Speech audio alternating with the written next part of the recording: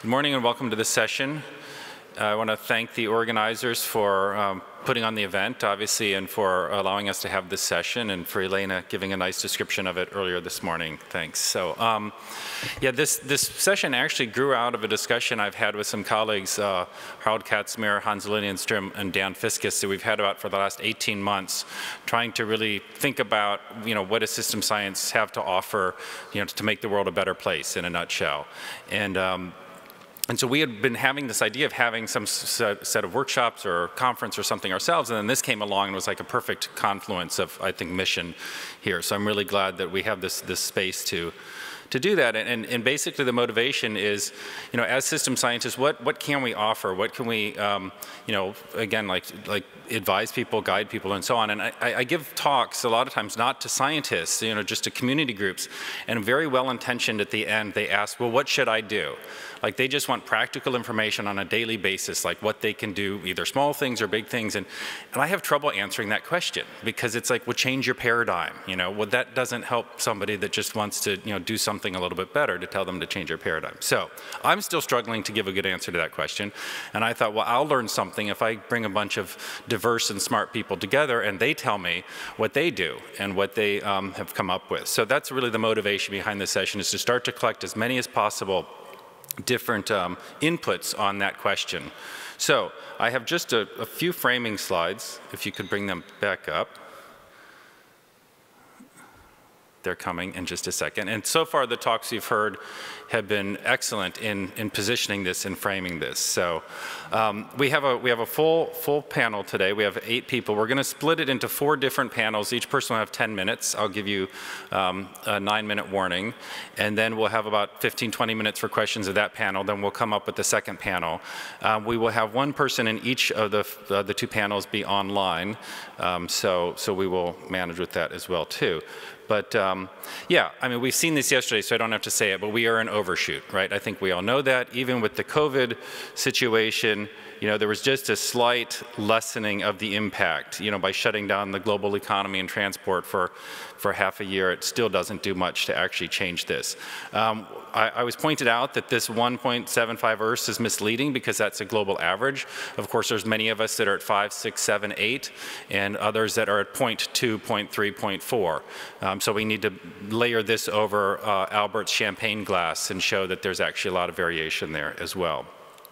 Um, so I think at the core of all this, and I think we'll hear more of this from the speakers, is that you know it's really about uh, what we're trying to do is clean symptoms. We're trying to clean up messes most of the time, rather than get to the core.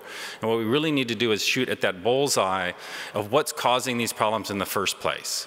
And, and I would say that it's a deeply flawed relationship with nature and with ourselves. And again, that's hard to change, but that's really what we have to aim at. The other message that I always give my students, and hopefully in every lecture, is the fact that the problems we're trying to solve today are typically the solutions to yesterday's problems. So we thought we, we, had, we saw something wrong, we tried to clean it up, and that just leads to other later problems. Unintended consequences, lacking of systems thinking, lacking of appreciation of unwanted consequences. So we can't ever get rid of that completely. I, I accept that. We have to do a lot better than we currently are.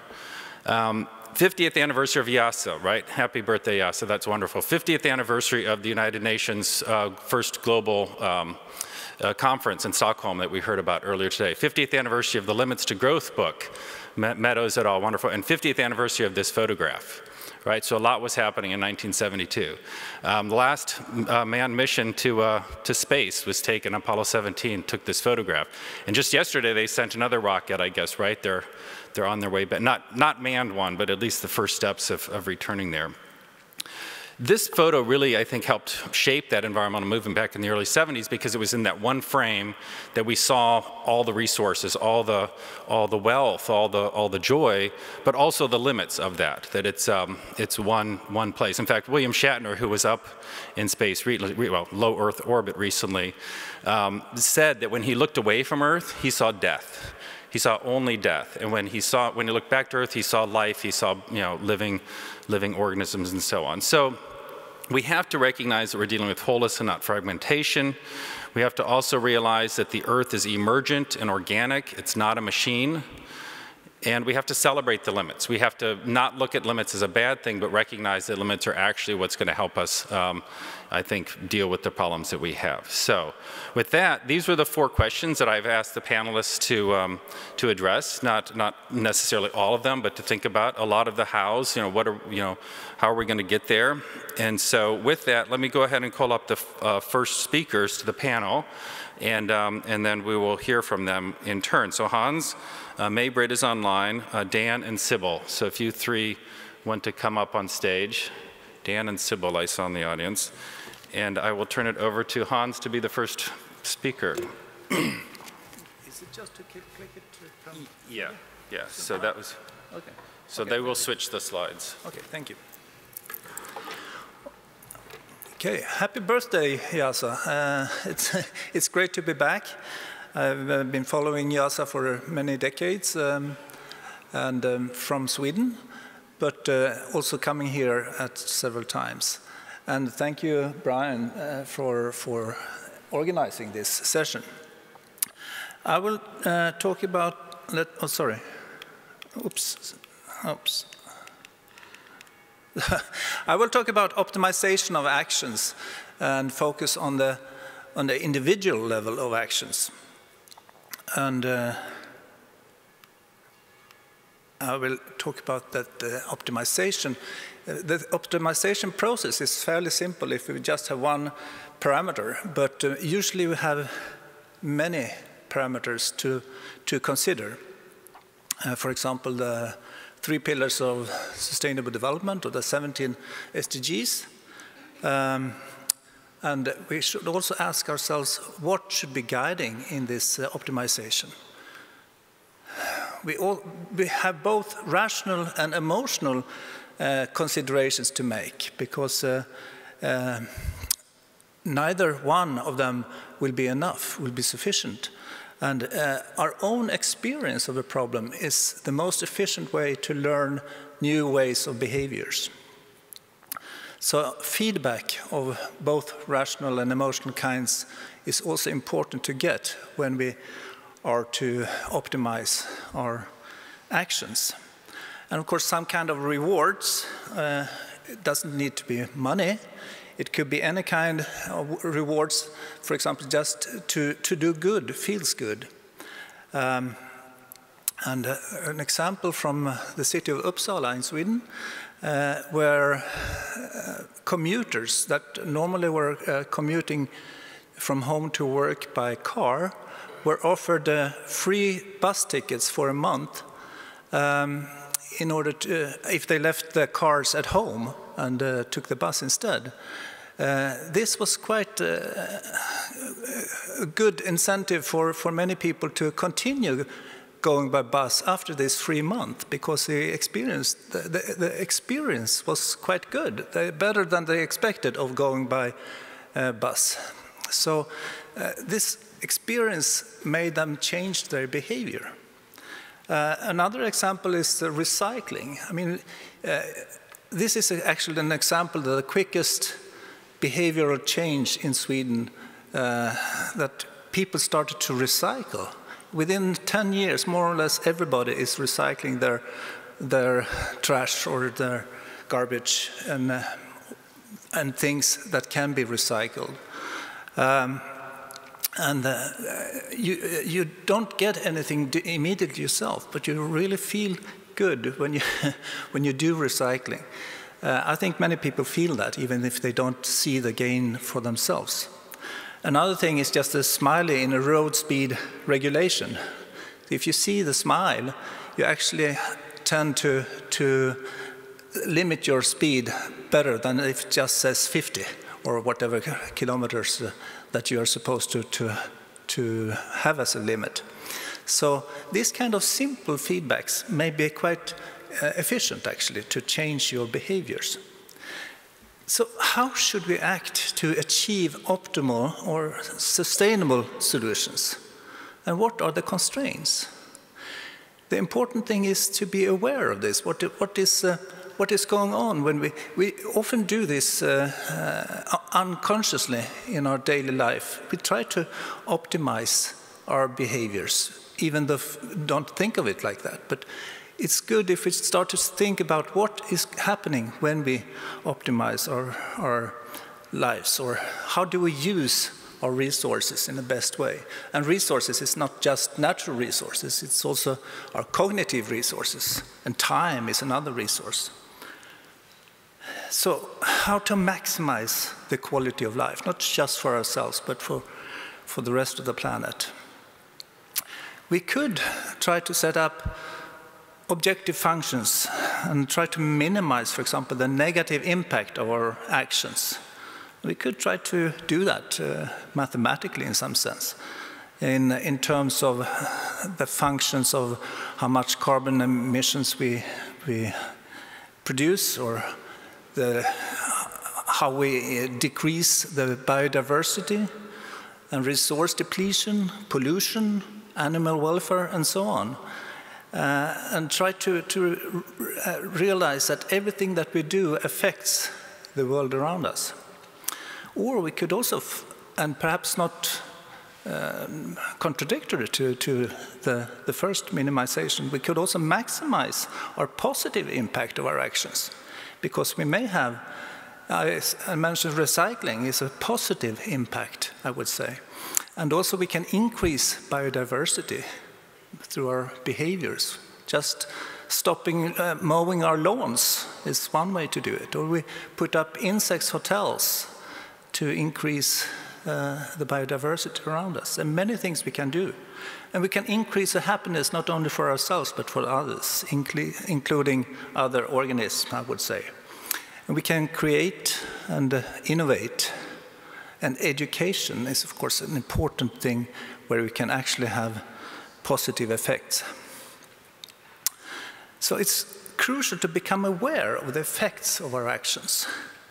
And we should, of course, also be aware that sub-optimization often happens when we just look at one scale, trying to optimize a system at one scale.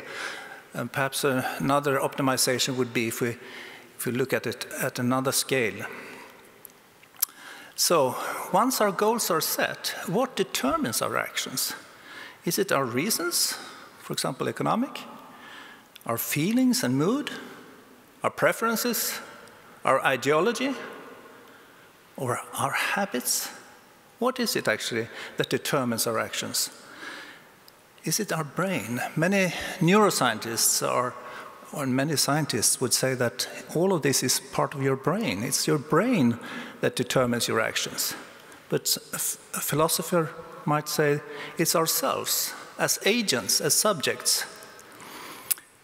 Uh, that has no room in natural science. We don't have anything explaining the subjective aspect of life uh, in natural science. Not yet. A sociologist might say that others influence or determine our, our actions, the society itself. If you ask a physicist, she might say that the laws of nature are determining our actions, or chance. Those are the only causes that physics can, can provide for our actions. Uh, my own research program, or our group, is working to, with decision making at different levels, trying to understand what happens in primarily in our own brains when we make decisions. Uh, and trying to link the different levels of processes uh, actually, we are all decision makers. We talked about it uh, previously today about decision makers, but we are all decision makers. We make decisions all the time. And of course, it's not just us as uh, individuals, but we interact with other individuals. So, so, and their trust comes in as an important factor in this interaction. So, with our ner nervous system, we have a sensory hierarchy that uh, takes in what we perceive from the environment, but we also act on the environment. We are changed by the environment through our sensory hierarchy primarily, but we are also changing the environment through our motor, through our actions. And there's a lot of feedback going on both inside ourselves but also with the environment that we interact with. And one could say that the sensory hierarchy represents adaptation and motor hierarchy represents mitigation, if you like, if you take it at that scale. Uh, so decision making is an important aspect of our cognitive behaviors, our cognitive capacity. And uh, decisions are prior to actions. So every action comes after a decision. So what happens is, again, that we have two ways, if we simplify it, both rational and emotional parts of our brains are active during our decision making. And we learn through the evaluation of the outcome of our actions. We learn to make new and hopefully better actions in the future. So we have constructed a neurocognitive model of decision making based on Kahneman's ideas on system one as an emotional and fast uh, system, and system two as a rational and slower uh, system. And we have uh, identified different parts of the brain involved in this, in this um, different, sorry, let me see. Okay, thanks. So we have one emotional part and one rational part, and they, the interaction of these, we have used neural networks to, to mimic or simulate the activity of the brain uh, areas, and the, integrating these two uh, signals gives a decision. Uh, there's a competition between different uh, activities, and then an action, and the action on environment feeds back to both the emotional and rational. Um, side. And of course, we also have uh, trying to apply this to uh, real world situation, more or less, uh, uh, decisions on a daily basis, which is uh, how we transport from home to, to work. For example, we can take a car, public, or by bike. And how do these different options appear they are represented by cell assemblies, the activities of different cell assemblies in our brains. So they are both uh, influenced by external stimuli and internal states. And we also have values that are considered, which are the three pillars of sustainability uh, for the time being. And then there's a competition between the different options, and uh, the winning option uh, is the decision. So uh, we simulate the neurodynamics of the brain. It's like EEG signals that uh, uh, for the two systems. So if we have, have to make a fast decision, system one works, and maybe uh, of these three, three options, we take the car because it's most convenient. But if we think a little bit more and give time to our decisions, system two kicks in, and we find that the bike is our option to win. So we apply this also to the planning of transport system in the Stockholm-Mälar region. And Stockholm is here, Uppsala is here.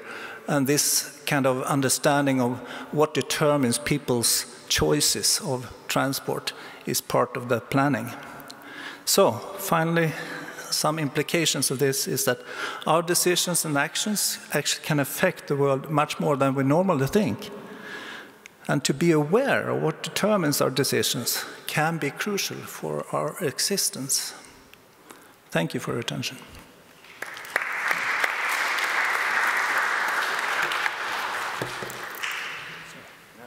Thank you. I should have given you a better introduction. I apologize for that. Uh, um, uh, we, we, met when one of your PhD students came to YSSP a, a long time ago, right? I, I, think Elena remembers that year as well, too. But the, um, so, um, yeah, thank you. So our next speaker is online. And um, so if we could get Britt May. So May-Britt uh, Öhman is an associate professor of environmental history in Uppsala University. So we're still staying in Sweden for now. And can you hear us? May-Britt, can you hear us? You are muted.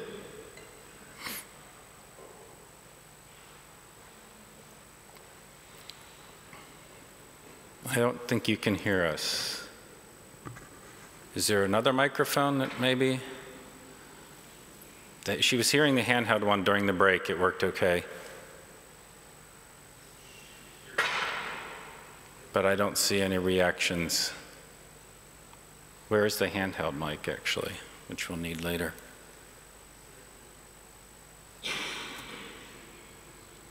Hello? Host muted you. Unmute.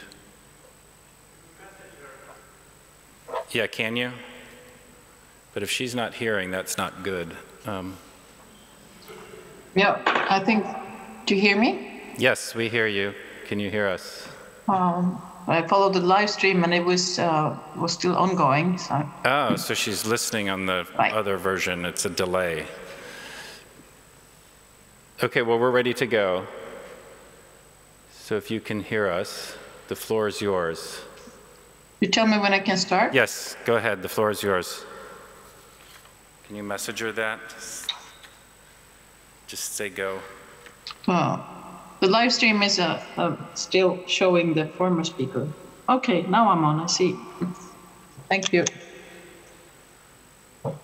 Okay, thank you for inviting me. And um, so I will try to very briefly speak on uh, Sami and indigenous perspectives um, on environment and climate change and all. Um, I'm associate professor of environmental history and a PhD of history of technology, and I'm also Luleå Forest Sami with Tornedalian heritage.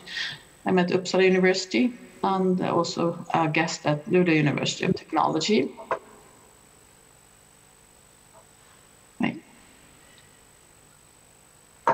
Um, well, we won't stop here, but if you want to check out what I'm doing, so I, I am the project leader of several research projects, amongst other the Dálkke Indigenous Climate Change Studies.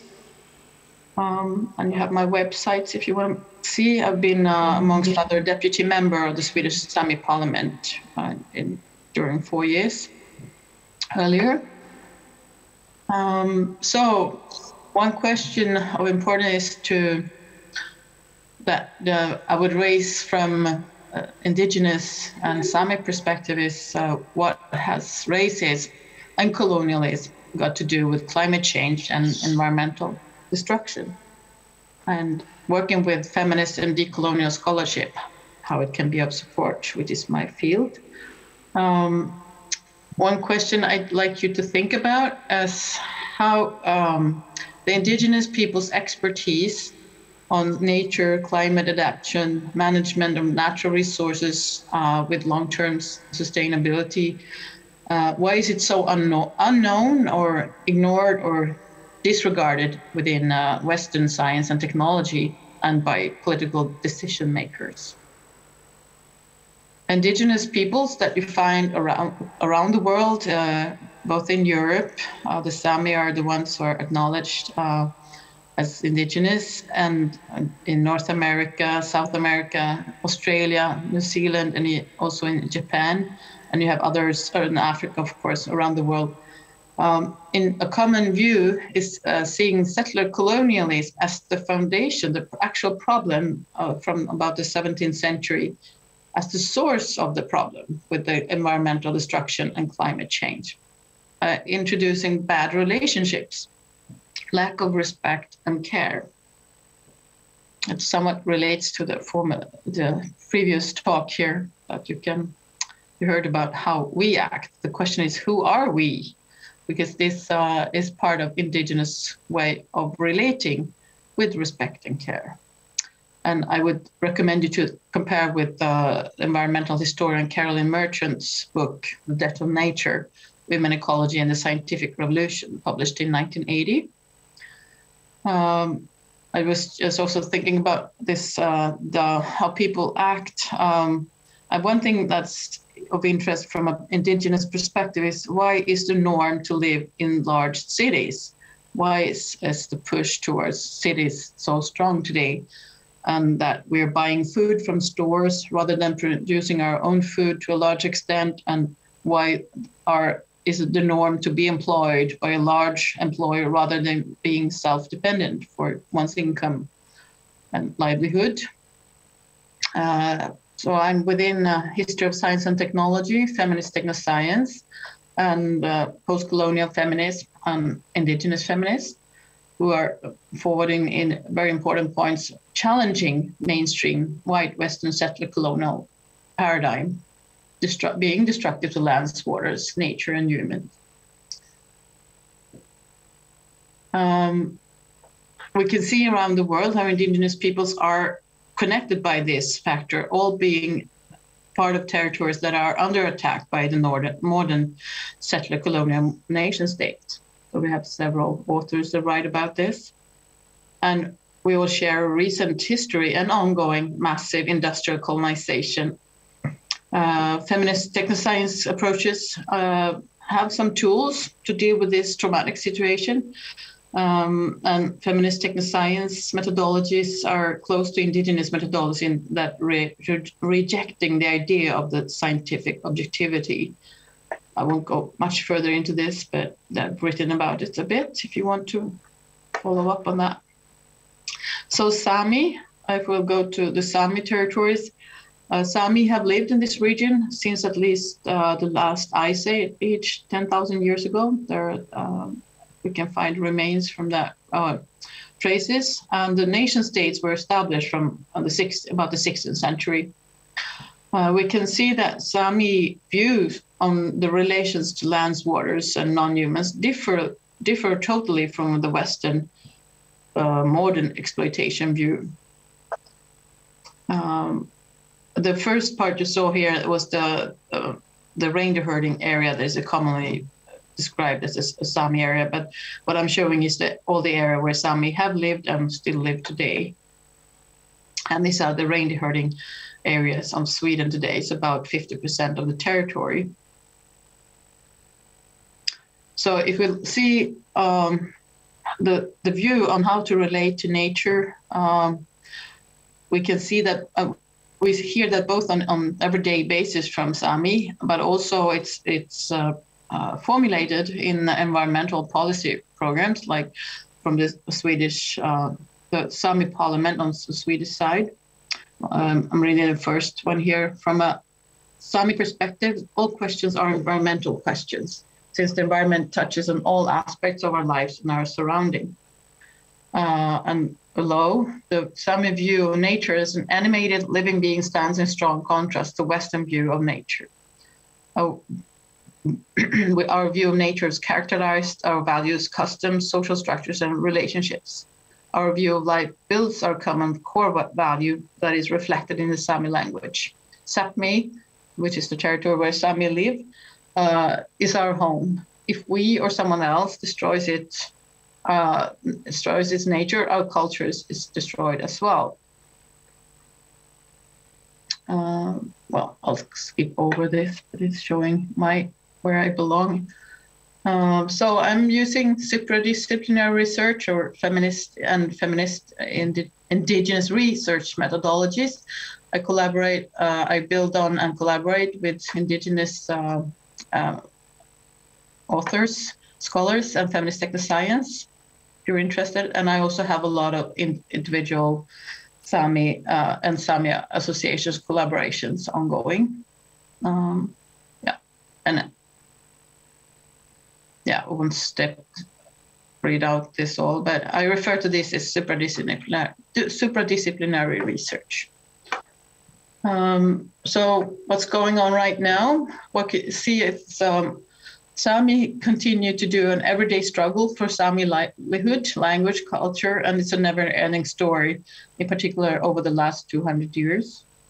Um, and we can see how Sami is trying to live one's life under the uh, Swedish, Norwegian, Finnish, and Russian occupation, you can call it, because it's colonization, settler colonialism.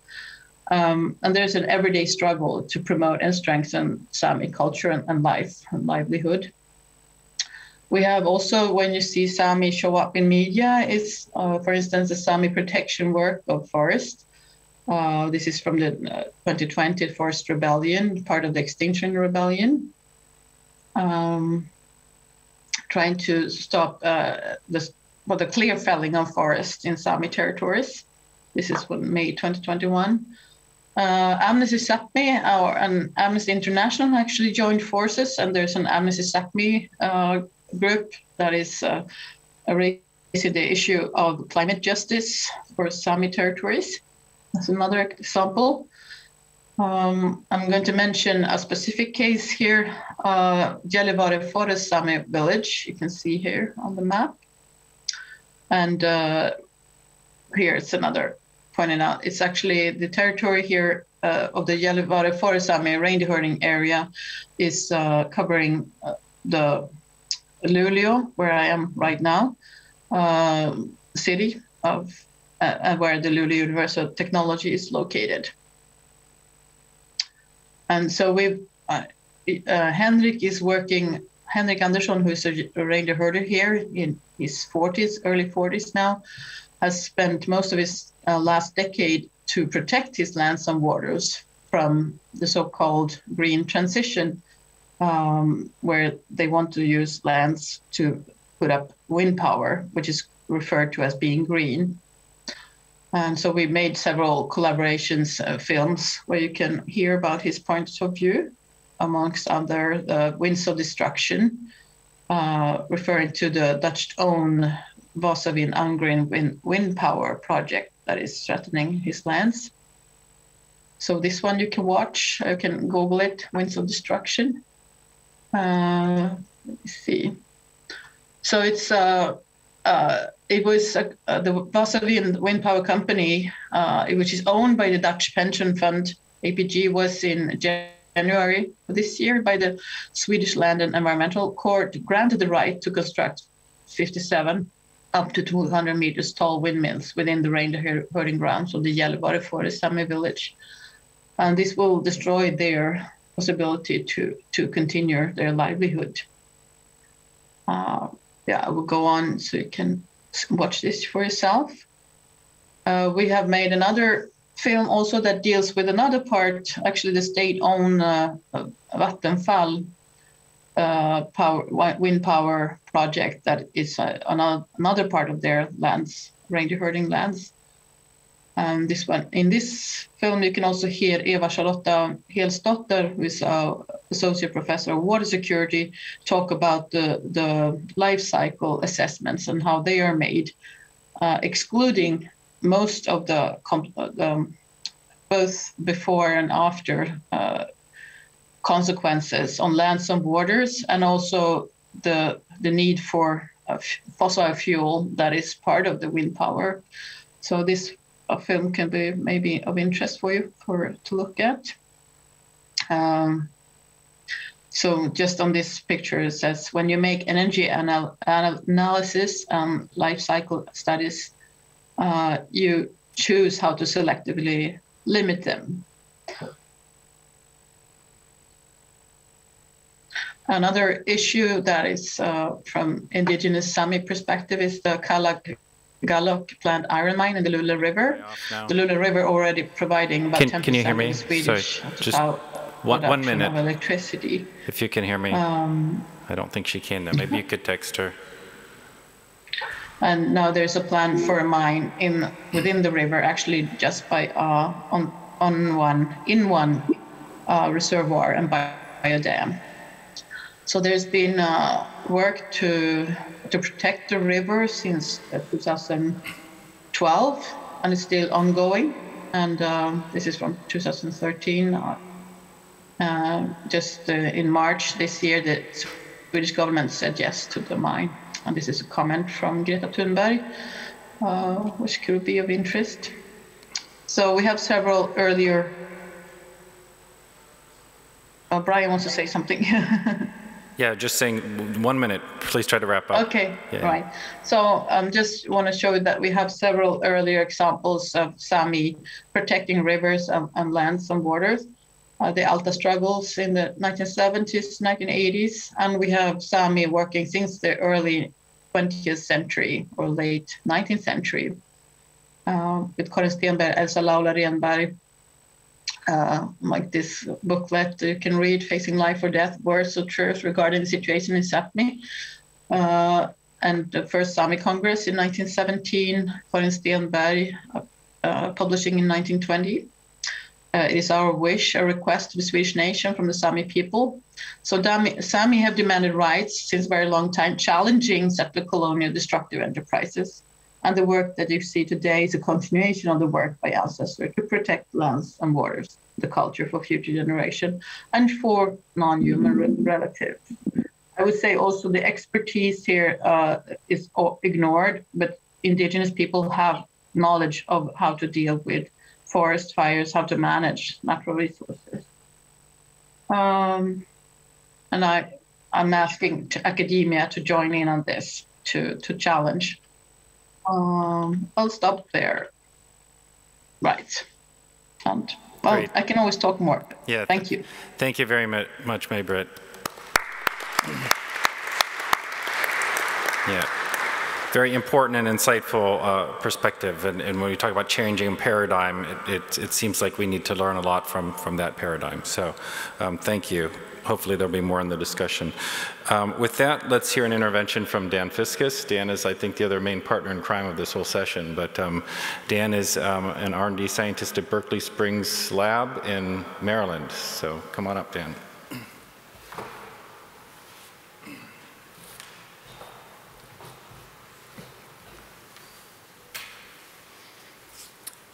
Hello, everyone.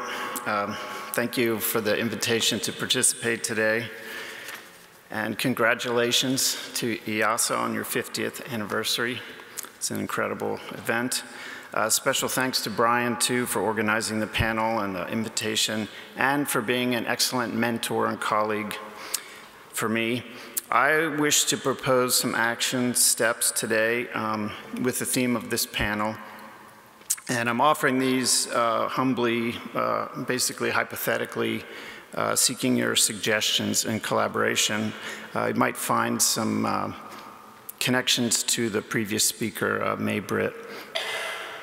Um, as Brian and others have said, and we've heard a lot last night and today, the problem we face is a wicked problem. Uh, you might hear people refer to a meta crisis, a polycrisis, climate emergency. Uh, we have uh, quite a few different ways to describe this. And I think, uh, as Brian said, it's really hard when people ask you, what should we do? Um, I think system science can definitely help answer that question, and as we've heard many times. I like to study this uh, as a multi-crisis, as a system of problems. So if we start that way, we can think of what, what is it that creates the system, what is it that unifies it, and then we can begin to seek a system of solutions. I also like to um, start at the beginning to say what kind of outcomes do we seek? So what kind of actions do we want?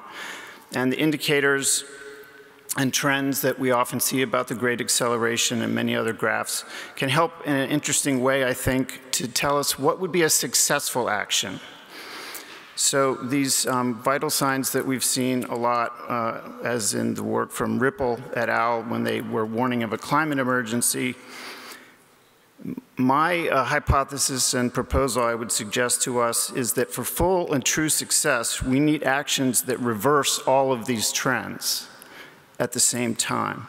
These and others as well. So that to me would be whole system change. That would be systemic change. And so we can ask what kinds of actions could do that, could change course on all of these trends simultaneously. And as Brian said in his introduction, a lot of the previous solutions are now our problems.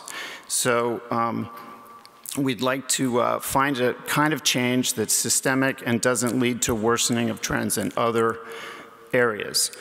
To seek systemic change and avoid piecemeal solutions um, that backfire, we need to seek that systemic change to turn all of these at the same time. So as we look for, think of actions, that would be success. All of these need to reverse course. So that's a high level, um, oops, that's a, um, high level of leverage that we would need to change the whole system. So Donella Meadows, who was mentioned also by Brian, uh, wrote the book, uh, co-wrote the book that came out 50 years ago, Limits to Growth, also wrote a paper in which she identified the top two sources of leverage for change in a complex system. And both of her top two sources of leverage had to do with the paradigm out of which the system grows. Um, so uh, she listed number one and number two in that way in her 1999 paper, and everything else grows out from that. The goals, the structure, the rules, the feedbacks, the information flow all come from the paradigm. So that's where I would like to look for this high leverage to change this whole thing and what unifies the crisis. And the hypothesis that uh, Brian and I put in our 2018 book, Foundations for Sustainability, is at the center of this, one way to think about it is actually um, the paradigm of science. Uh, it's the source of the root cause of the crisis, but it's also the greatest leverage for change. Given the stakes that we're facing, I think this hypothesis is worth testing. Um, the mainstream paradigm of science, of conventional science, that's dominated since the days of Descartes and Newton around 1600, and it has some central tenets uh, that we can identify.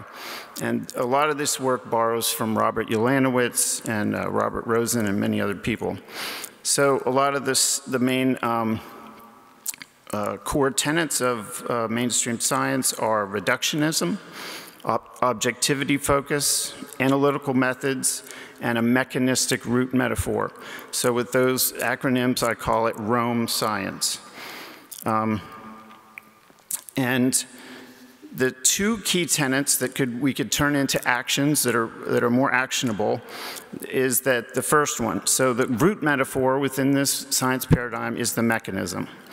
And uh, Rome science treats all living systems or all systems of study as mechanisms at the root, including living organisms and, and living systems. The other one we can take action with is the objectivity focus. So Rome science values practice in which scientists consider themselves outside of the system of study. That's beneficial because it can prevent influencing the system or biasing results or conclusions. But um, the are, there are some uh, negative uh, unintended side effects of this paradigm, and we could hypothesize that this paradigm drives technology, which drives industrial culture, which has given us all of the symptoms that we see. And uh, the shorthand synthesis version of understanding that is we have turned the world into the machine that we have imagined it to be. The symptoms that we see, the world is very literally breaking down, wearing out, falling apart, losing pieces, and running out of gas. Those are behaviors of a machine. Those are not the behaviors of a living system. Living systems do the opposite of that. So we can think about an alternative paradigm and two things to get the, the Donella Meadows maximum leverage. We can first change our paradigm. So this is not the normal way that you hear about paradigm change. It's not a Kuhnian paradigm change. We're not going to wait for this to shift. We could do it intentionally. Um, the first part to do would be to change the uh, to an alternative one, which has to do with a holistic worldview, organic instead of reductionist and analytical, and a root metaphor of living systems, not mechanisms. Uh, this is, uh, again, followed work of Robert Ulanowicz. He has shown in his ecosystem work and networks ecology that ecosystems are non-mechanistic. And I highly recommend looking at his work. He's developed process ecology, which is a non-mechanistic approach. We can see this uh, clearly with evidence every day. There are facts of life that show us that life is non-mechanistic. Uh, Earth's oxygen atmosphere the way soils naturally grow in, de in depth and fertility, the creation of fossil energy sources, these are all evidence of this non-mechanistic behavior. This is also why these systems are inherently sustainable. So we could begin to transform our science uh, operations ourselves uh, in a way, self-transformation, leadership by example, and we can work with our facilities so that they are uh, con uh, convert to 100% renewable energy, 100% recycling materials processes, and a net beneficial impact on the environment. And uh, we can do that uh, as one, three, five, ten years, as long as it takes, but as quickly as possible. If the hypothesis of a high leverage uh, paradigm change works, then we would see um, all of those trends begin to go simultaneously. It would also support uh, sustainable technology, which would support sustainable culture. This is yet another um, leadership role of Donella Meadows. She thought of a, a, think do tank where she had her science and her uh, sustainable living in the same place. Um, the second action uh, we could do, um, I just mentioned, change our facilities uh, so we can reinvent our own facilities in the image of a living system instead of the image of a mechanistic system. This would change that root tenet of objectivity focus to an intersubjectivity or internalism, where we become part of the system. And David Orr and folks at Oberlin did an excellent example of this in the Adam Joseph Lewis building built in the year 2000.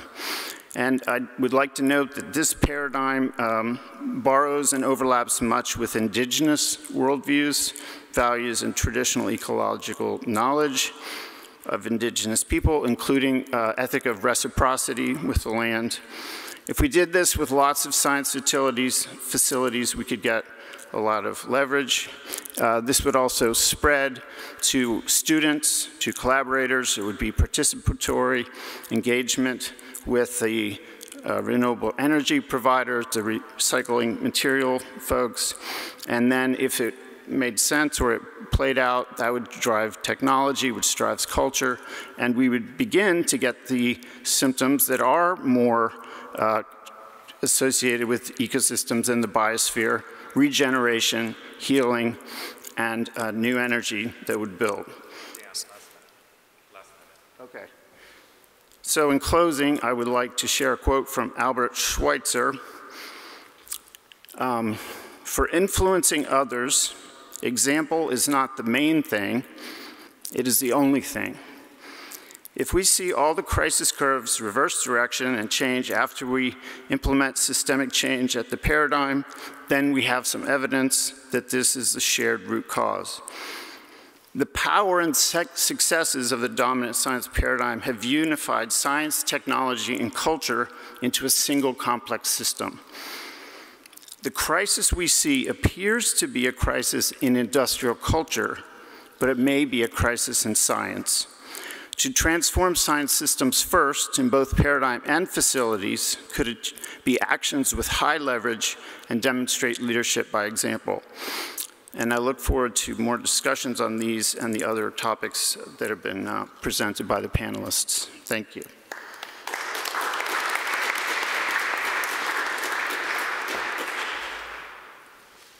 Thank you very much, Dan. Yeah, builds nicely on um, Britt May's talk. May Brits, excuse me. Okay, so the last one before we open it for some discussion and questions will be um, by Sibel Eker. Sibel is a, a former and current IIASA uh, scientist, but also now currently assistant professor in systems dynamics at Radboud University in the Netherlands. So Sibel, the floor is yours. Uh, thank you very much, Brian, for the introduction, and thanks to all the organizing colleagues for this conference, and Brian specifically for this session. Um, so as Brian said, I'm an assistant professor of system dynamics at Radboud University and a research scholar at the Energy Climate Environment program of IIASA. Uh, mainly, I work on integrating social systems to global models of climate, economy, and environment.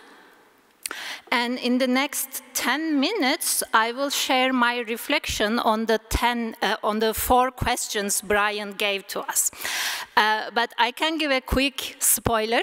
My answer to all four questions is going to be modeling, because modeling is the biggest hammer in the toolbox that I have, and today I am choosing to go to all these questions with this hammer that I have. So the first question was how system science can help to address global ecological crisis practically. So my answer is modeling. As you have heard several times during this conference and as you will hear again, modeling is a key tool of systems analysis. It has been widely used starting with the world model of limits to growth that you see uh, uh, coded in the ancient software up there uh, to the modern uh, integrated assessment models that guide the climate policies today. It is widely used and widely influential because it has practical benefits. So for those practical benefits, I'm going to list seven um, which uh, I will quote from the book of Scott Page titled uh, The Model Thinker. So the, the first practical benefit of modeling is its help, its support for reasoning. It helps to trace the relationships between systems and systems elements in a logically consistent way. The second uh, practical benefit is the ability to um, is the ability to explain that the phenomena that was already observed. The third practical benefit is the design of uh, features of institutions, policies, or rules through testing uh, in, a, in, a, in a test bed, in a hypothetical test bed. The fourth one is communication, because the models helps us to, to communicate the knowledge and understanding clearly. The the fifth one is uh, acting because it helps, uh, the models help um, choosing different policy options, rules, and uh, institutions that come with that. Uh, I, I, forgot to count. The next one is predicting. We know that the models are great tools to look out to the future and see, estimate what might happen. And the last one is exploring uh, multiple plausible futures with what-if scenarios. So these are the uh, main practical benefits, and what I like most among them is the rigor uh, modeling brings to understanding different relationships uh, between systems and the consequences of those. And if you wonder what Shakespeare is doing up here, it's exactly to make this point uh, uh, of bringing rigor, because um, the, the complexity that we see around is like a madness, but the models bring uh, a method and order to, to this complexity uh, we see around. This brings me to the second question. The second question was about how system science can help transforming science in general to be more inclusive, especially that of the value of life. My answer is going to be modeling again, because modeling can be conducted in a participatory way in all the stages of it, and uh, with different participatory approaches. And uh, participatory modeling provides a structured stakeholder engagement in, in various systems analysis projects, and this takes the discussion beyond mere uh, narratives, and it helps to um, move modeling beyond being a scientific, merely scientific tool. So if we talk about stakeholder engagement, then of course the question is who are these stakeholders? A few months ago, I was uh, talking to a natural scientist, and uh, I said in this project, my role is to uh, do participatory modeling for stakeholder engagement. She immediately asked, so who are these stakeholders? Are they humans? So I guess the question was meant to be a bit sarcastic about this uh, precious species of stakeholders, but I took it uh, uh, as an intriguing questions, question because yes, I work with uh, humans as stakeholders so far in my professional life, but I am very much interested in working with non-human stakeholders uh, because we see that um, in the last couple of years, rivers in many different countries of the world are granted the same legal status as humans. In Bangladesh, you see that. In Canada, you see that.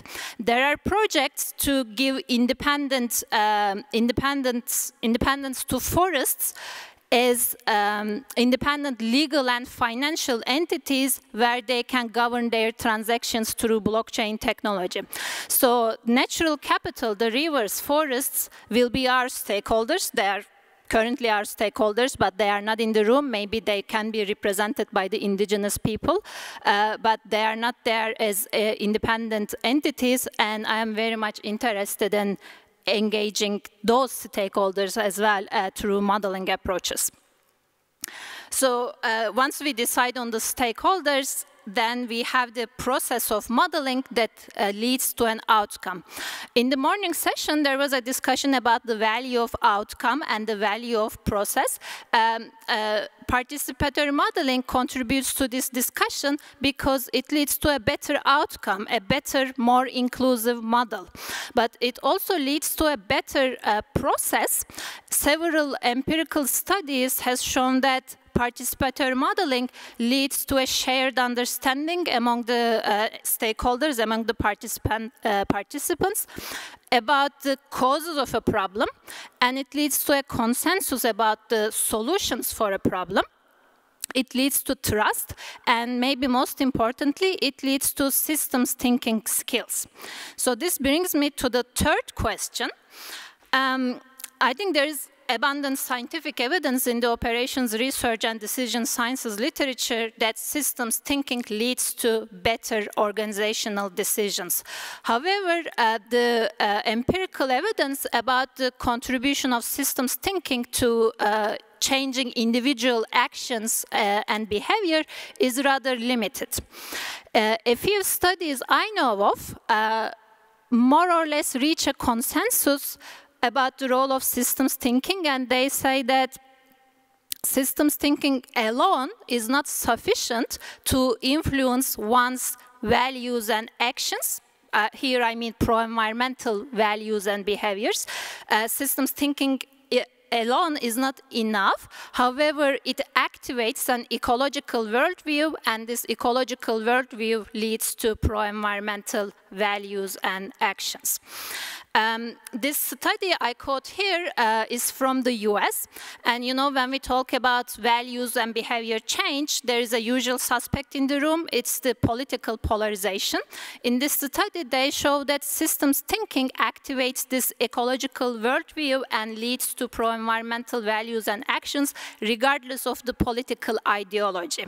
So both among the liberals and conservatives, Democrats and Republicans, the, the contribution of systems thinking is significant.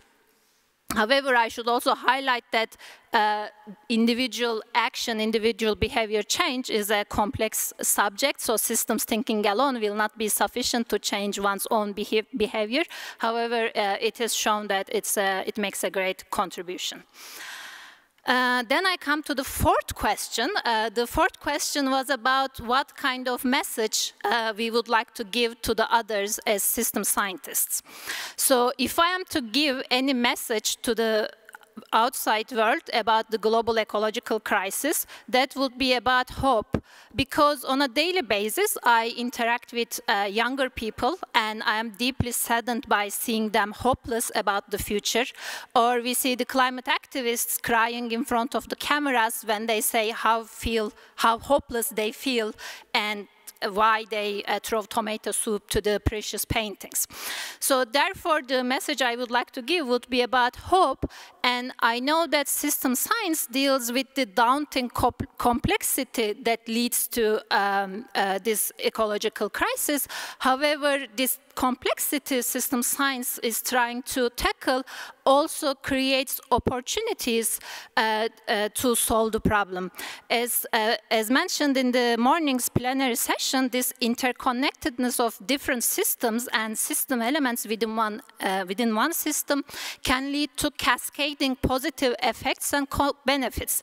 These days, this is called social tipping processes. And yes, it's a popular word because it gives great hope about the solution uh, by making small changes in the, in the social systems and activating all these positive changes. So with that, I think system science and systems modeling can also help to uh, analyze these processes and can give hope to the outside world. So thank you very much.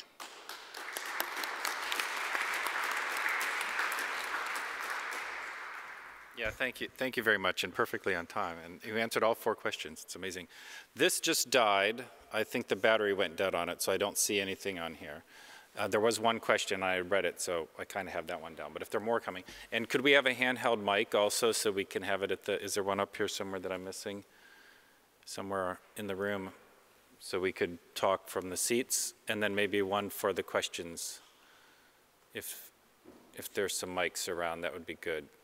So if there, uh, we, we, are going to pause now while we have this panel on here and from these first four interventions and um, take some questions and, and, have some, some feedback. So if anybody has a question or a comment they'd like to make, um, please raise your hands now and we'll try to also get the microphones. Um, one second for the microphone though.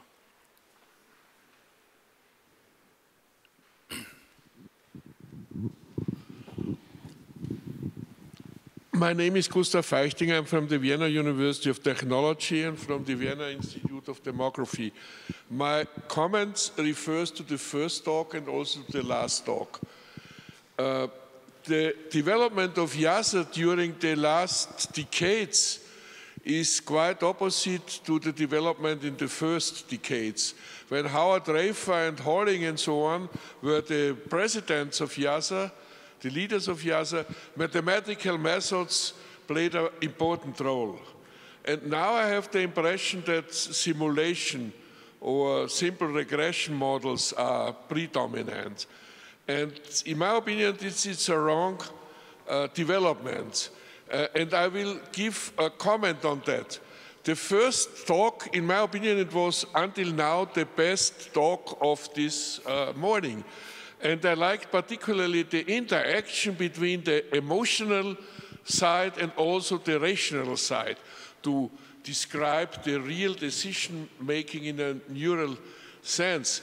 And I think uh, the presenter uh, took uh, uh the, mentioned the different speeds that emotionally is quite so quite fast, while the rational uh, takes longer time.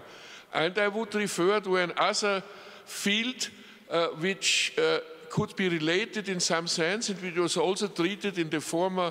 Could, could, uh, you, I'm sorry, but we really only have a few minutes. And so I just need a question and then we can get a response because I want to hear from in other people. In mathematics, there is a field in differential equations which is singular perturbation theory, dealing in systems with different speed. And I would draw the uh, attention to Sergio Rinaldi, who was a former co-worker, and discussed here the love dynamics. At the first look, you have uh, uh, you see your partner and so on, or secretary if you have a matching problem in that case. This is an emotional field in a, in a very fast context. And then you have the rational decision maker that you weigh the different multi-criteria things in that issue. And I think these methods could be used to study this uh, uh, field. Thank you very much. And for the feedback, Hans, do you want to? Thank you very much for your suggestion. I, I, will look into that. We have differential equations behind the, uh, with different uh, time constants involved in the, uh, for the two types, the two kinds of systems that we are modeling. Uh, so I think uh, I will look into what you suggest. Thank you. One of, one of the other things you said, Hans, which I thought was really important, was that um, it's not about minimizing negatives, but it's about um, maximizing positives. I think too often people think of sustainability as just doing less bad. We can't just do less bad. We have to do good. Right? Wolfgang is in the room, right? Well-being is our should be our goal. So, um, yes. So, other questions from the audience? Also, I can also read the one that was online. But do we have one, Elena?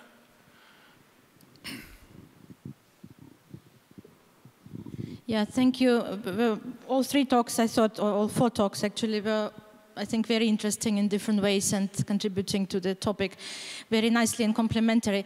Uh, my question is the one I'm asking, not the first time in the IIASA's context, but I'm curious what you will say very briefly. So when we talk about behavioral change, there is an issue of ethical side of it. So the snatch theory, this kind of things, uh, and Hans, you gave a few examples. So who has the,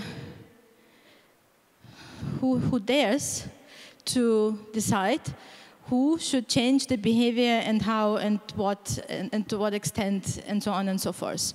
We as scientists are we taking a kind of responsibility for this kind of uh, decisions or we are themselves referring to someone else as authority in this field, and so, or we let people decide in hope that they can make the right decisions themselves. I guess that's not what we kind of see at the moment. So, how do you see this ethical side of that? Mm -hmm. Yeah, thank you. May I, may I yes, I think it's very important uh, that we as scientists can help people to decide for themselves and to realize what is behind their decisions. Uh, what kind of processes, what kind of factors in, uh, influence their decisions. I think we should not make the decisions for others, uh, but we can uh, uh, give tools to people to see how they can make a decision that is satisfactory uh, to their situation and to their situation in a, in, I think again, interconnected network. Of, we are all a part of, of an interconnected uh, system. And uh, to see that whatever we do, even whatever we say, has an effect on others. And uh, I think this is an important uh, realization that we, we, we, should look at and uh, that we have um, the, uh, uh, tools to influence others. I think this is what we also see in uh, when a new behavior uh, spreads in society. That uh, someone, our neighbor, puts up a, a solar panel on their roof. Uh, and we realize that this is a good idea. So, so it spreads very quickly, these kind of things.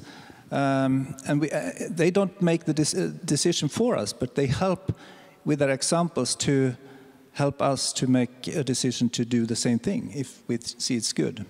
The same with recycling, for example. Thank you. Maybe you want to add to it because your participatory modeling, I think, comes very close to this, right? And how you. Uh, yes, that can help for anything.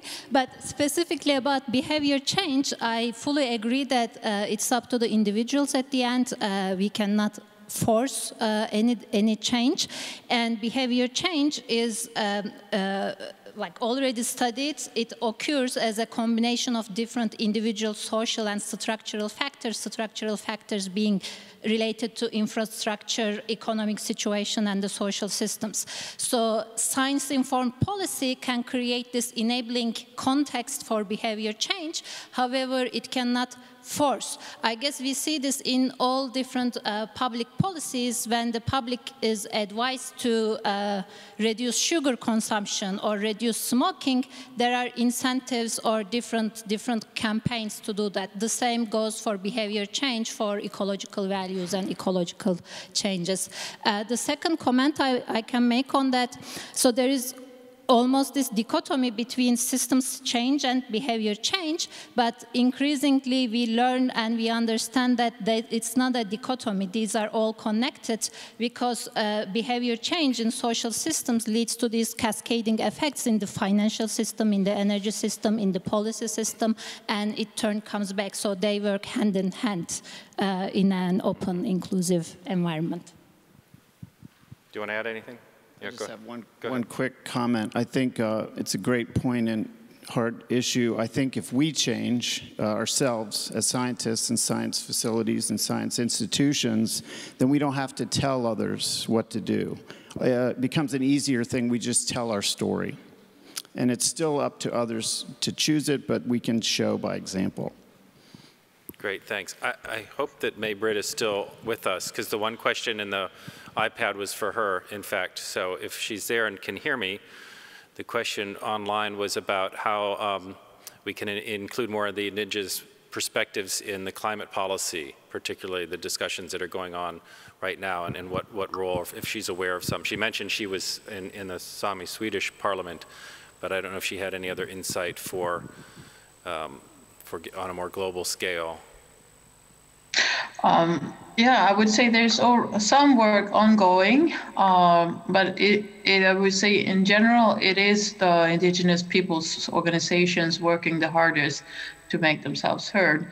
And if we see go to Europe and Sweden, I would say uh, I, I, can see both Finland and Norway are doing quite a lot, whereas Sweden is not uh, really um, listening to Sami perspectives. Um, the European Union could do a lot better. Um, so it's, it's, also different in different parts of the world, I would say. But in general, it's a, it's uh, decision makers and also people at uh, that's why I'm saying at, uh, in universities uh, to make space for indigenous expertise. So I think it's also both like on state level, but also each like uh, uh, scientists working in a university could bring in indigenous voices like you have done here today that I have the opportunity to, to bring them forward. But I think it's also having having courses, uh, university courses, bringing in knowledge and expertise and indigenous voices. So there are a lot of ways to do this.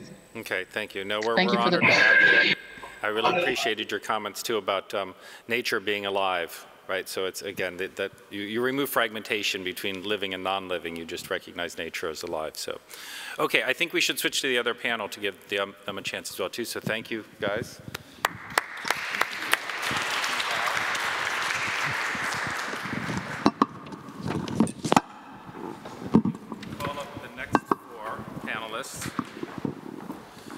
And if you can get Marina's slides up already, that would be good.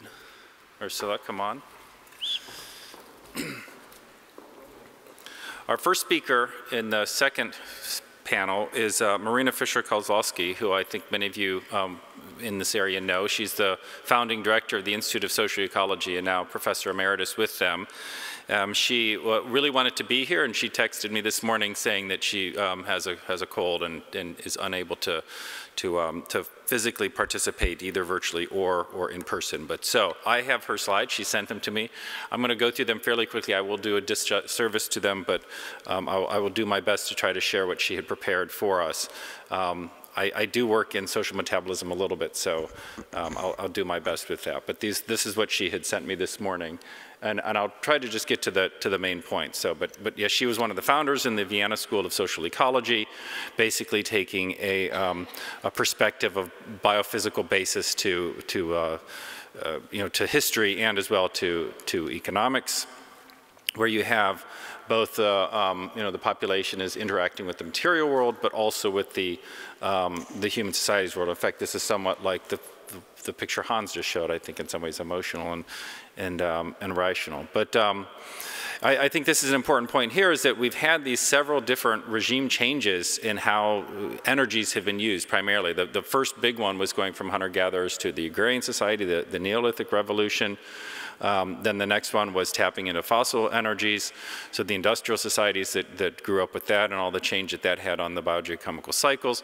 And then the question mark one, right? What is that sustainable transformation going to be like?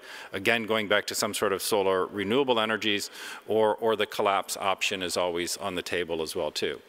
Um, yeah, so that was the ones that we had.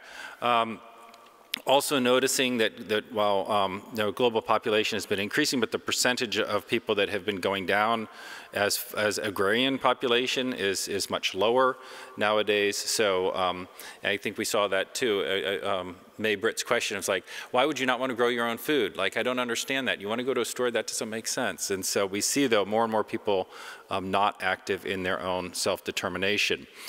So um, I think the, the, a key point here is this idea of decoupling was really the first phase of economic, uh, of ecological economics, which was trying to still promote economic growth, but also um, at a relative decoupling as a lowering the use of resources as that was going on.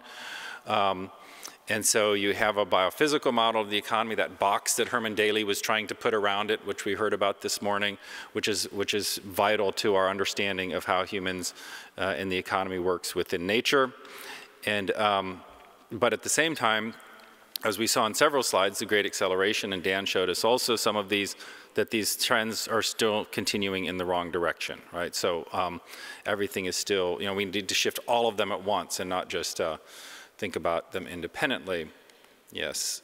Um, so we have not yet um, really started that transition. It's not discernible yet. And so I think that what's um, important here is that, uh, you know, this idea of transforming to be more holistic and more radical, um, and that the idea of decoupling, I, I like how she's put this there, is that the findings of social metabolism clearly demonstrates that a decoupling of economic growth and the use of natural resources is possible, but only very partially. That it's not going to solve the problem for us. Decoupling is not the entire basket, um, the only hammer, I should say. I'm using that terminology. Um, so more interdisciplinary work we've heard a lot, more transformative work, more holistic work are all part of what is necessary. So how, um, and what can social metabolism do for that, and how does having this transform paradigm modify one's actions or behavior, speaking directly to the questions that I had asked her. Um, it would support analysis on different scales and levels of social organization. It would help dismantle the illusion of technological progress and economic growth, providing the solution. I think that's quite important one. Um, again, changing your, your goals, your, your paradigm there. It would teach about pro uh, promising more differentiated intervention strategies. Um, this is also an interesting point that uh, um, viewing climate policies basically as a context, contest, excuse me, between owners of the assets that accelerate climate change and owners of the assets that are vulnerable to it. And so there's this tension between the ones that want the change and the ones that don't want the change. And, and I think this is an important point too. We, let's be vocal. Praise the ones that are doing well and shame the ones that aren't doing well. Um, you, know, get that in the public in the public discourse. Systems knowledge needs to be translated into actor-oriented strategies to, to achieve the most improbable. So everybody talks about the weather, but nobody does anything about it.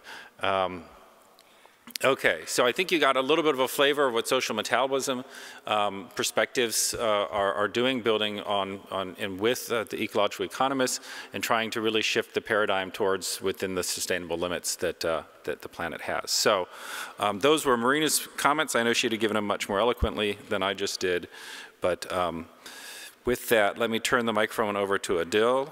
Uh, Adil is um, uh, professor at uh, the Pardee School of Global Studies, the recently stepped down dean of the school, and now the recently promoted uh, president of the Friends of IIASA in, in the US. So um, the floor is yours.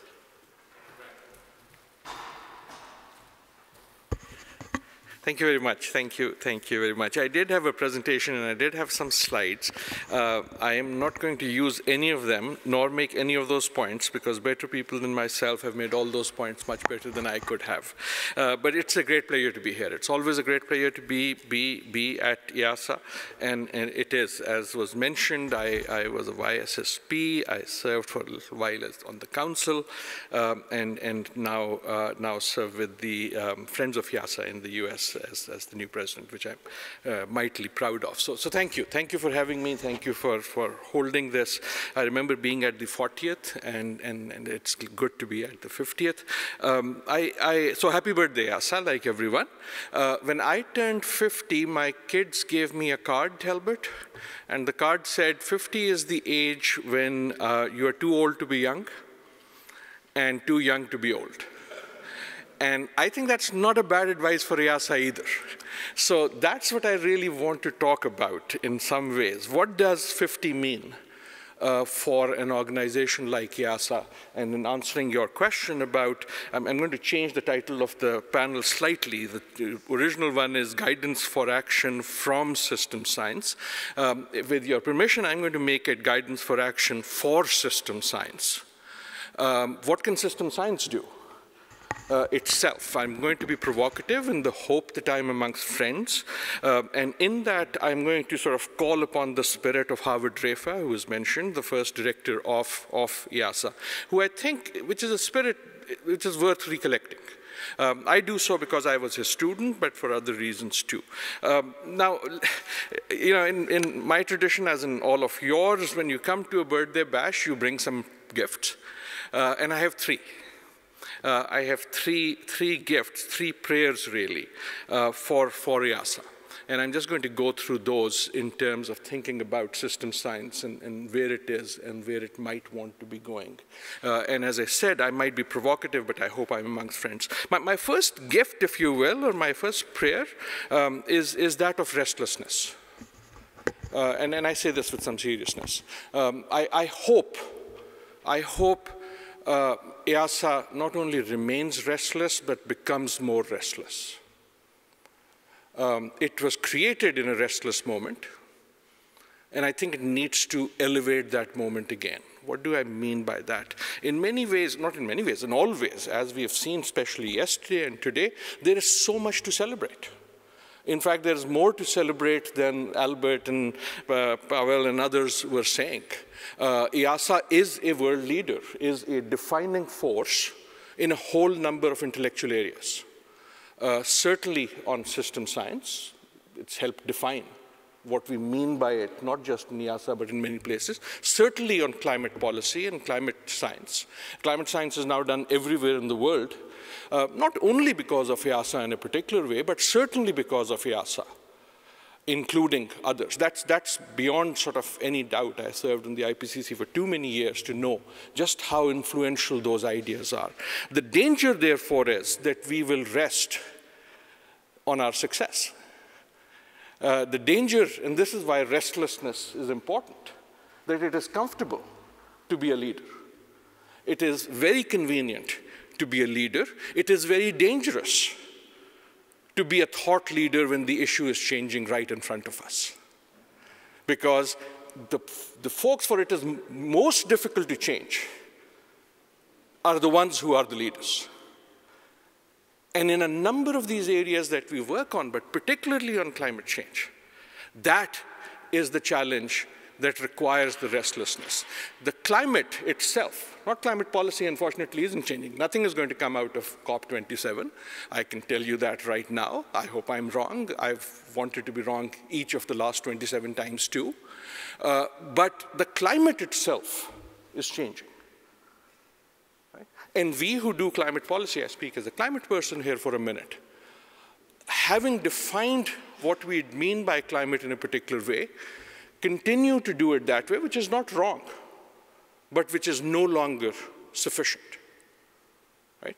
And particularly, this has been alluded to a number of times, uh, I have been writing about, talking about, and I think I first talked about it at IIASA um, uh, about 12 years ago or something, that we are now in the age of adaptation. We've probably been in the age of adaptation for at least a decade. The age of adaptation is not the opposite of the age of mitigation. It is the failure of the age of mitigation.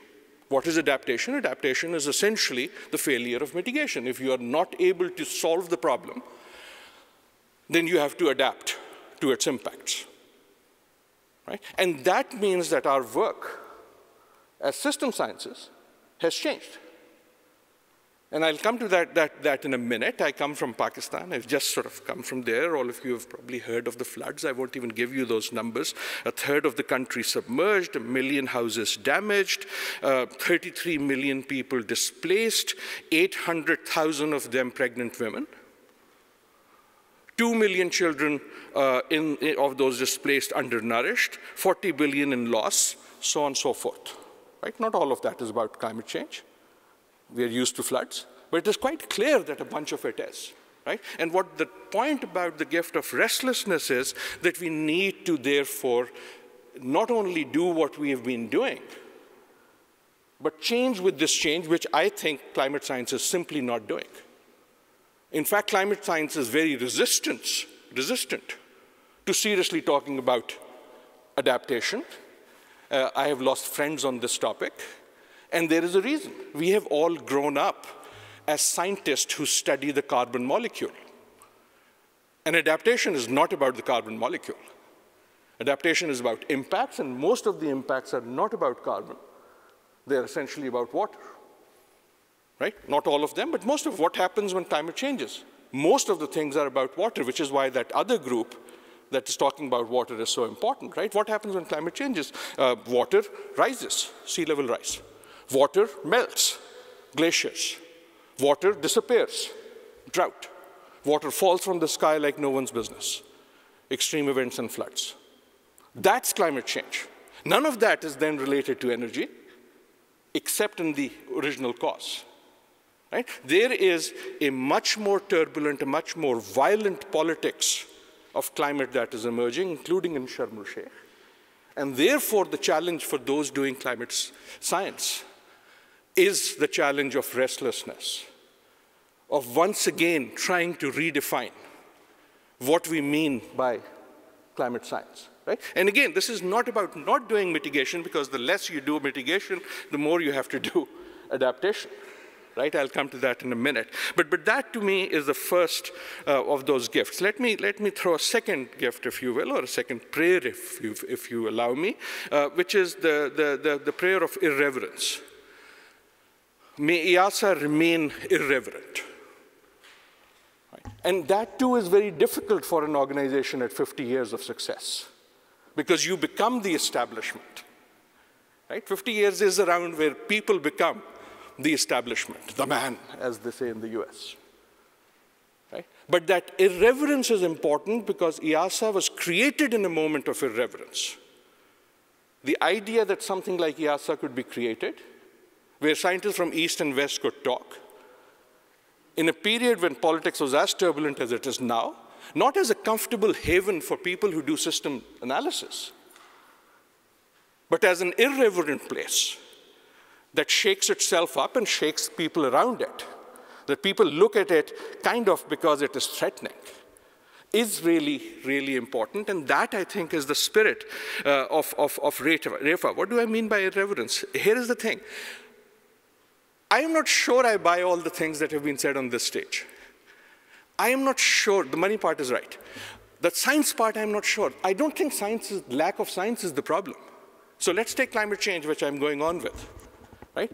Is the climate changing, is climate, are climate change problems happening because we don't know the science of climate change?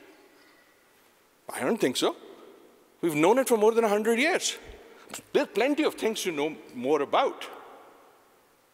But what's happening out there is not happening because we don't have enough science on climate change. It won't, if, if I had better models, even better models, even better science on climate change, do you honestly believe that the world in terms of climate change will become better? I'm not so sure. I'm not so sure Naki is so sure either. So why isn't things hap- why aren't things happening? This is the irreverent part. Not because, not just, we, we need more science, we need better science. But not because there isn't enough science, but because science isn't being translated into better decisions. Right? That's the spirit of Howard Raiffa.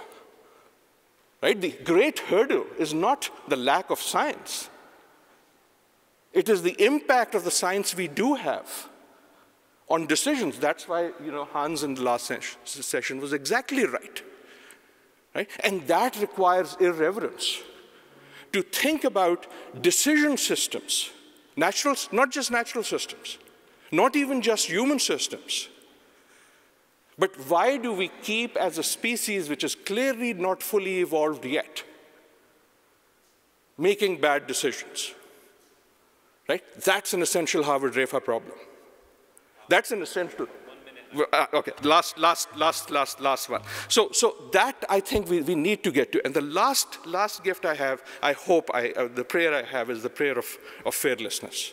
Fearlessness will be needed in the next 50 years because the big problems and the problems we deal with, right? Um, we, we, we know this from population already. We are seeing this in climate already. We'll see it more and more again, is the question of justice having once defined system science, IIASA now has to redefine system science by fearlessly taking on the questions we usually don't want to take.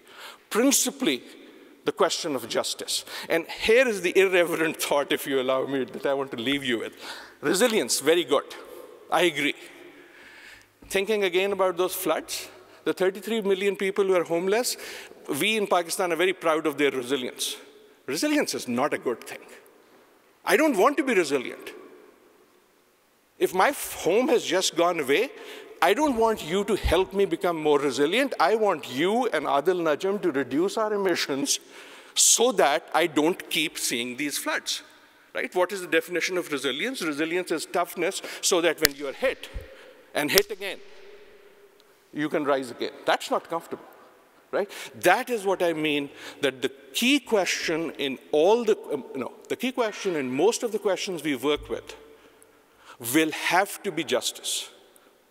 And we as a scientific community have to stop being shy about trying to tackle questions of justice. Questions of justice are difficult because they're essentially questions of injustice. I wish IIASA the very best. Happy birthday, everyone.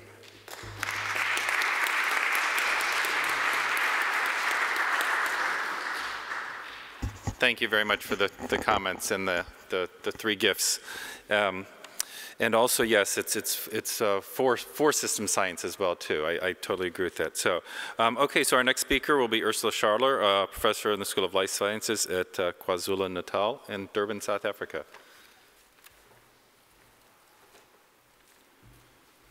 Thank you, Brian. So also from me, of course, happy birthday, IIASA, and thanks, Brian, for organizing this session. And I, uh, Adil's uh, talk resonated with me. One doesn't actually want to be resilient, and one doesn't want to have to choose to be resilient, but uh, there needs to be uh, some justice in the world.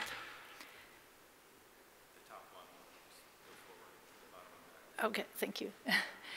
um, so um, these questions that Brian gave us to answer, I sort of reformulated them a bit and have a little bit to say from a uh, mainly South African perspective to them. Uh, so uh, talking about the system sciences and the global ecological crisis. Uh, so yesterday we heard already so this divide about um, doing the science and knowing a lot, and uh, we just heard it now again.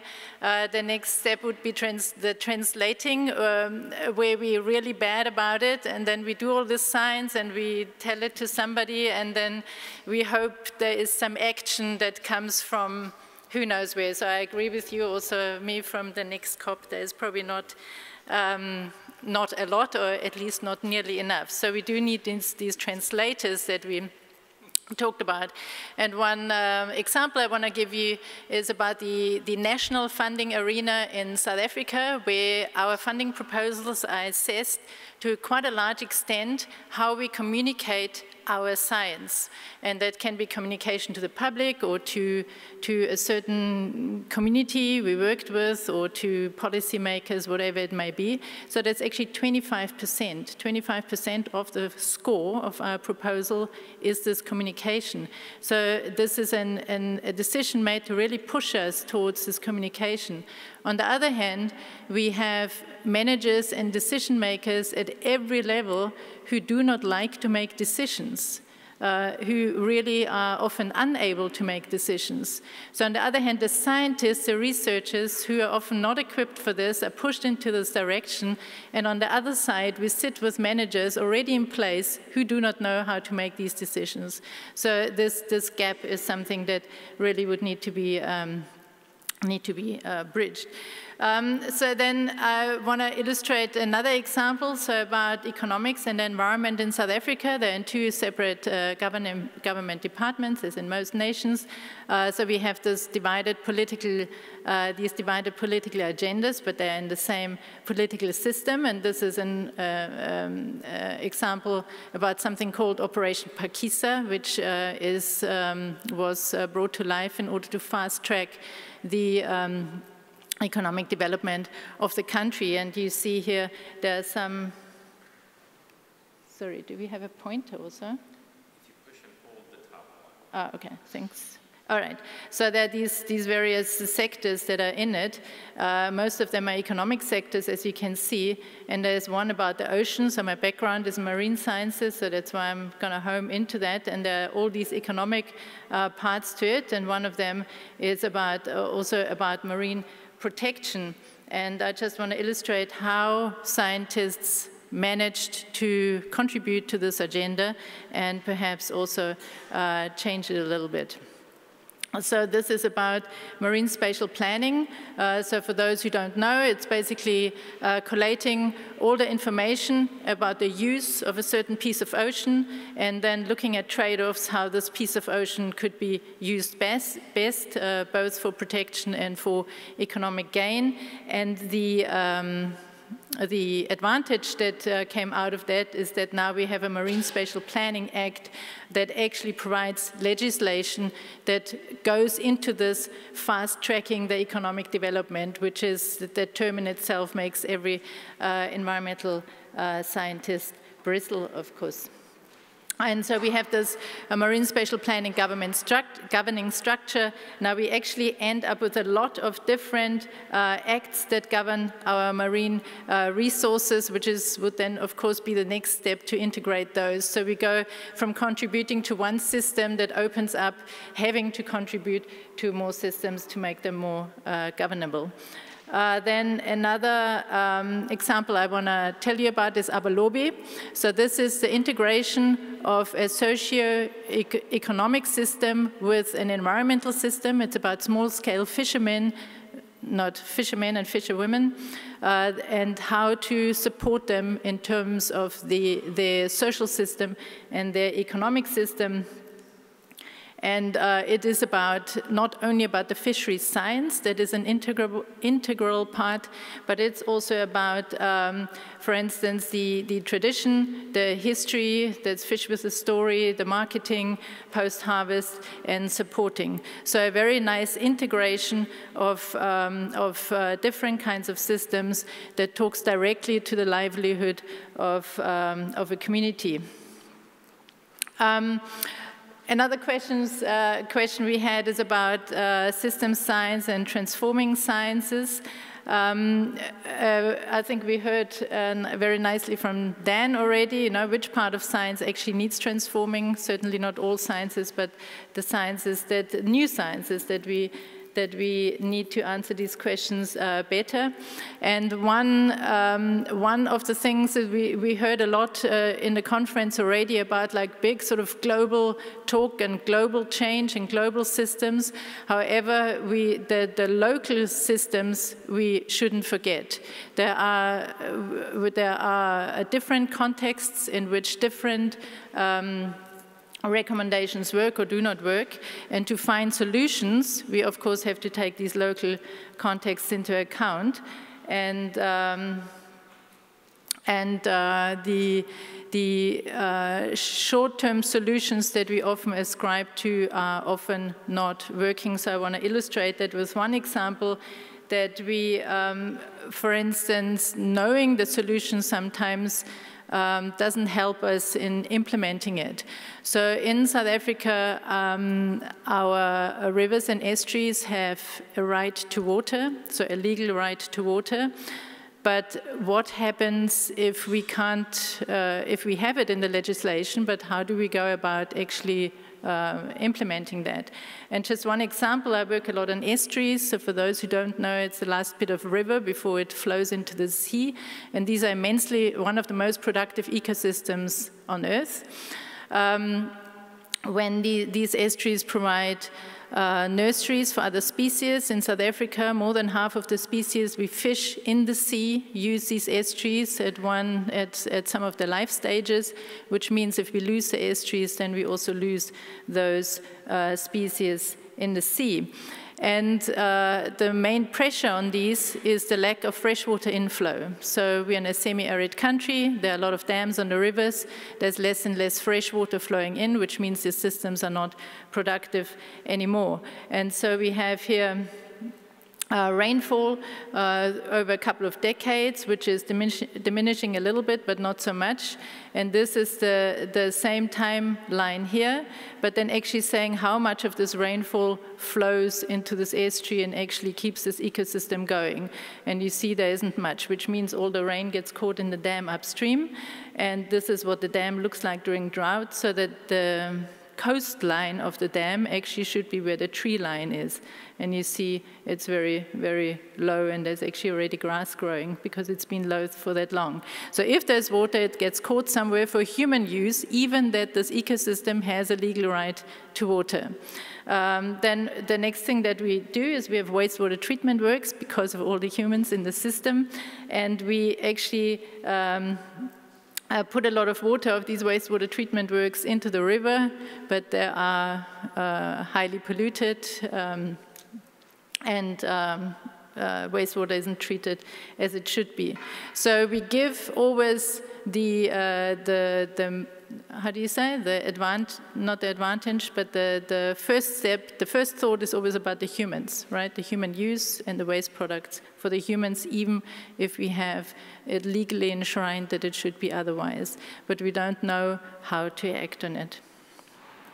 All right, and then short, Okay, then thanks. Then lastly, on uh, how uh, behavior in society and, and the general public.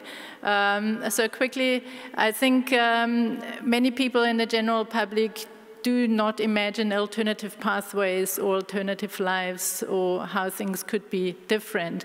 And I think one of the, one of the causes of this is that we, uh, many people are very bad in looking beyond uh, their little circle. And one of the causes of that is that our school uh, education is very, very limited. So I think all of those who had children trudging through mainstream education or having taught uh, students at university who have been through mainstream education, uh, we know schools work in silos, schools do not teach uh, for the times now that we need the children uh, to be taught. And I want to echo, echo one of the uh, online presentations we had yesterday, as young as possible. It's, it's something that really needs to be enshrined in the thinking. And where, where scientists can also help in that is, uh, is to, to help design curricula to incorporate that into the schooling. So I won't go into that. But then uh, one, one thing, and we, we touched on this, this also with the justice, the individual goals, goals versus the system goals. So we can have our SDGs that are global. Uh, if we do not know how to act uh, individually and in a fair way, then, then we're not going to get there. We had a nice graph uh, this morning where we saw those countries that now use below one Earth. Everybody wants to go to where the countries are that use five or six Earths. People want to go there. People want to have that lifestyle and, uh, and, and looking for designing alternative livelihoods to one that is using five or six Earths, I think is a huge responsibility uh, that, we, that we have. And so my, just my last slide for the general public also, as, and for us, I think we need to imagine alternative futures, even if they don't exist. So there's a lot of, uh, we, we're often very tunnel visioned, and we don't have enough imagination of how things could actually be uh, different. Thank you very much.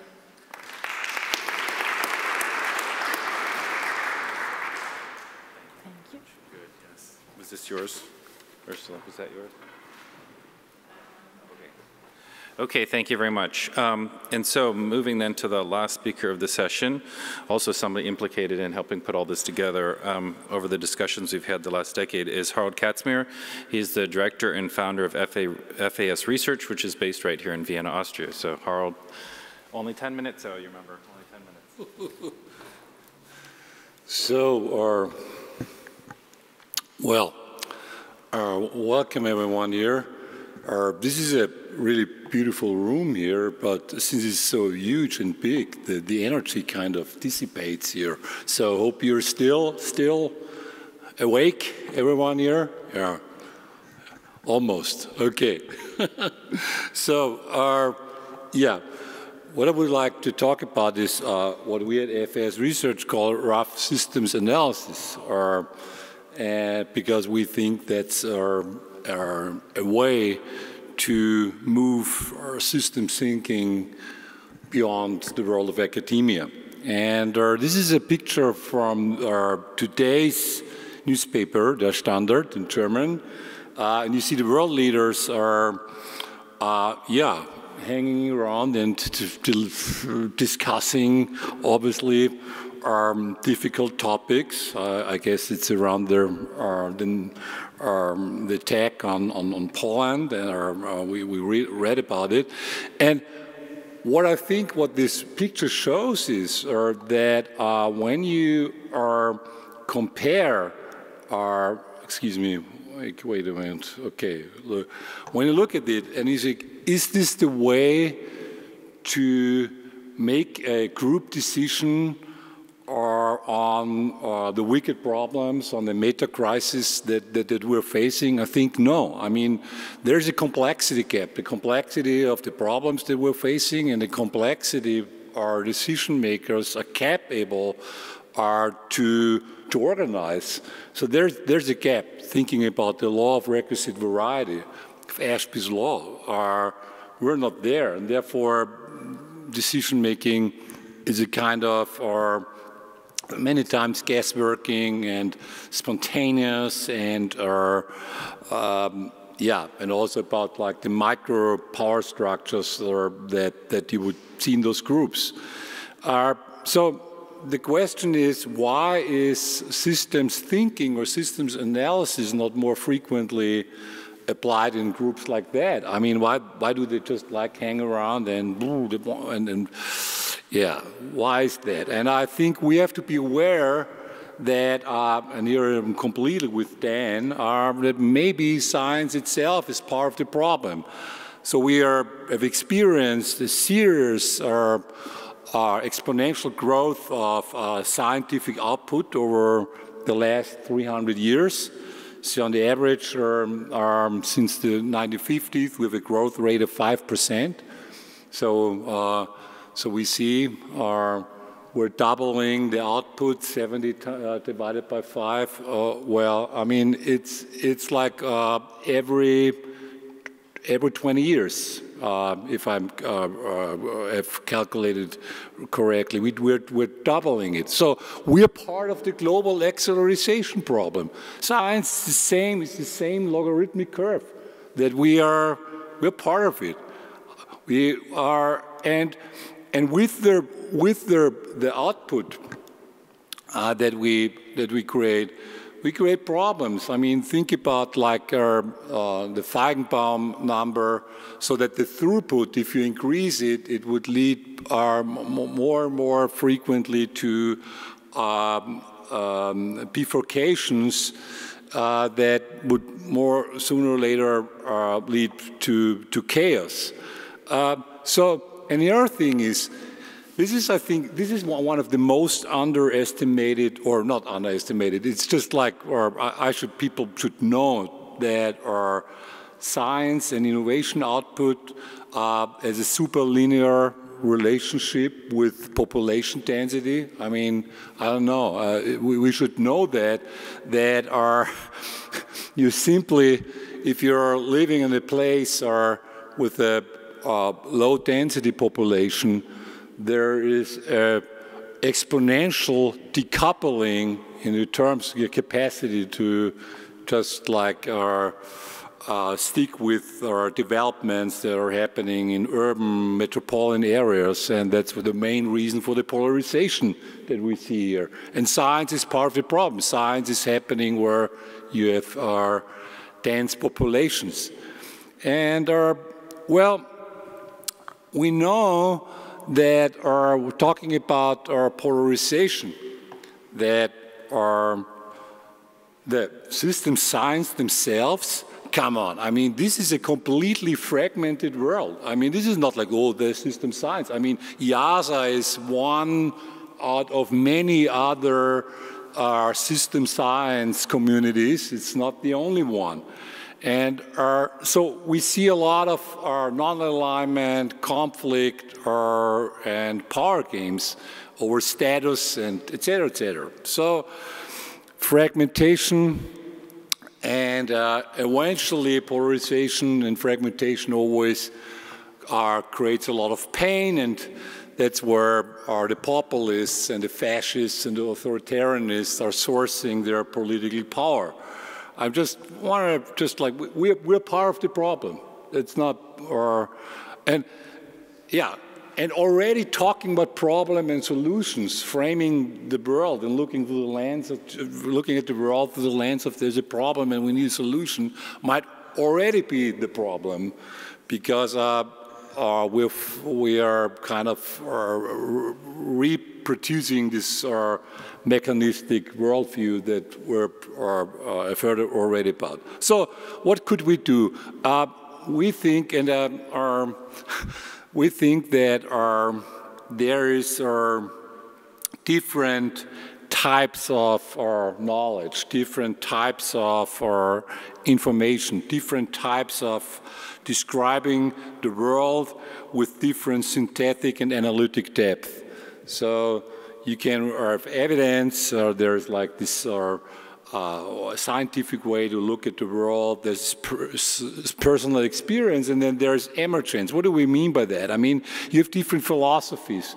Science are, leans towards naturalism when you have more like a subjective view on the world, it's phenomenology, and are, if you really like are encounter the, the emergence, the surprises are that, that we are facing when we look when we engage with the world, it's pragmatism, and our, it's different. It's it's it's different perspectives, and with different perspectives came along different kind of data, and this is what I actually I think are um, is here important. So we have the big data trend, big data.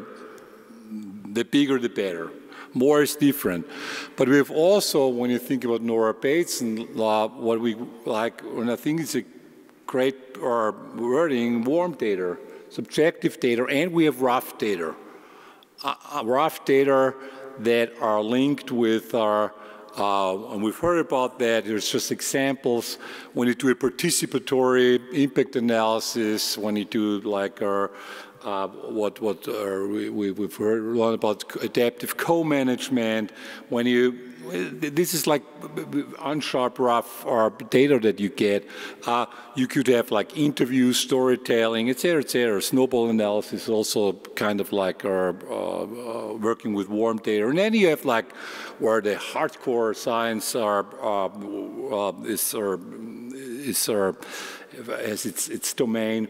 Uh, everything is linked with or also artificial intelligence, uh, system dynamics, etc., etc. Uh, uh, it's all also are uh, part of um, uh, theory of plurirationalities. You, you, you, based on the time, I just like have to move on, and just like I have to skip this one here. So, what is rough data? Rough data is that you take a look at the world through squinting your eyes. It's like planning out the details. And this is like when you squint, and this is when you, when you do a workshop on landscape painting, this is what I um, and for photography, the first thing is you, you learn to squint your eyes because when you squint the eyes, you just see like the, the most basic and most essential tonal distribution uh, that you would start with when you draw a picture. So you have this, those, those rough uh, shapes. And squinting is very important because it helps us that we are, are, are not losing ourselves in the details, but we actually are see things that we that are that are good enough that, that the resolution is, is, is, good enough. Okay you could you could argue if you don't know that this is Mona Lisa we don't know this is Mona Lisa but you will see it's a woman it's a person. So you would still uh, uh, uh, have understanding and and of, of or you could decode the picture. And again here it's all about like forget perfection forget elegance. Let's squint together our eyes and let's uh, uh, figure out what we see together here and now. And this is what we call uh, uh, uh what, what, what, what we call like rough data analysis, that you have a, a, a simple matrix where you have like in this example, this was like a, um, a rough data, we call it situation room. I will maybe have one minute to talk also about what we call a situation room because we, I think we talk far too far too much about the future.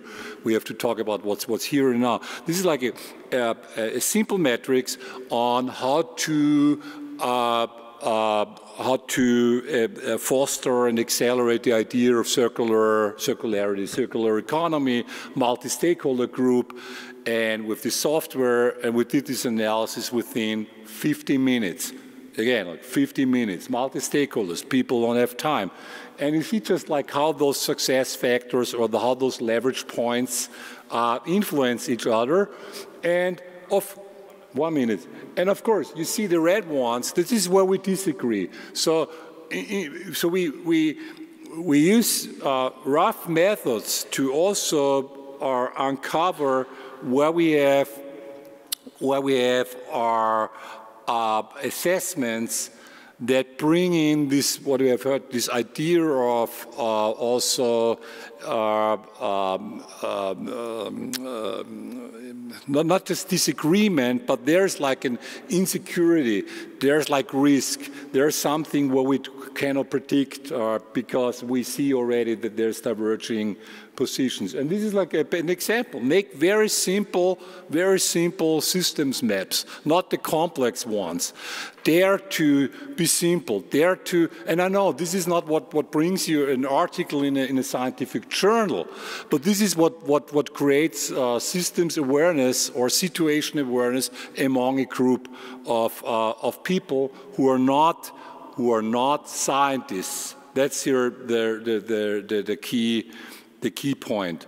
So uh, I also want to, this is where I want to start, or uh, where I want to end. Uh, this is also uh, linked with our, uh, by the way, what Buzz Holling, because we are at IIASA, uh, is called like adaptive co-management.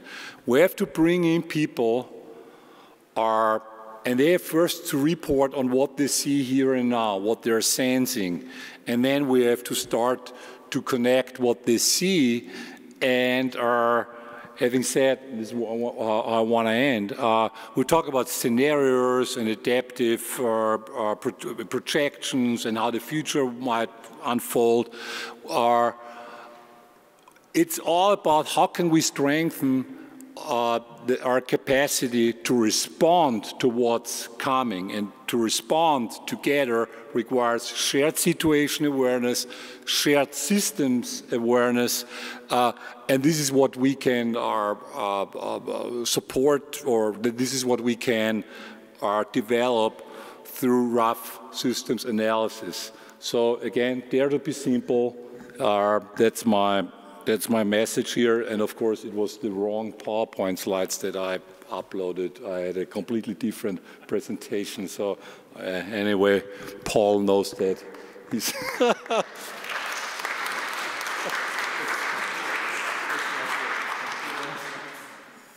okay, thank you. We'd have never known if you wouldn't have said anything. Um, thank you. So um, we have probably five or 10 minutes Do I smell food already though, and I know we're already late, but to keeping, with our two hours, we started half hour late. Um, so are there some comments or questions that anybody would like to have? I don't know about online if anything has come in, but um, anybody want to get the discussion started um, in the house here? I think we heard several times about some advice for science and some of the leading by example things that we can do um, differently. So that's that's good. Yeah, Reinhard, go ahead. Is there?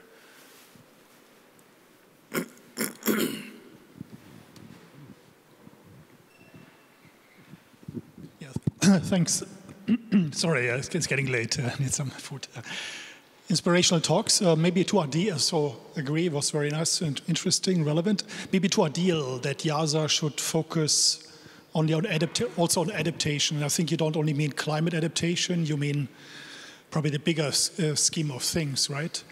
Unfortunately, I think IIASA has done adaptation in many spheres, in many domains. And as you're from Pakistan, we know what's now being negotiated at the climate summit is the next level. It's not preventing, it's not avoiding, but it's dealing with the unavoided and the unavoidable. So IPCC in Working Group 2 also said there's unavoidable impacts, climate-related and other impacts. So I think we need to go to that, and that has to do a lot with climate justice that you mentioned. We're doing a bit of work there, but yeah, it's, it's a tough domain. It's a tough territory that we need to act. And we should, of course, not give up and forget about the prevention in many regards, not only climate.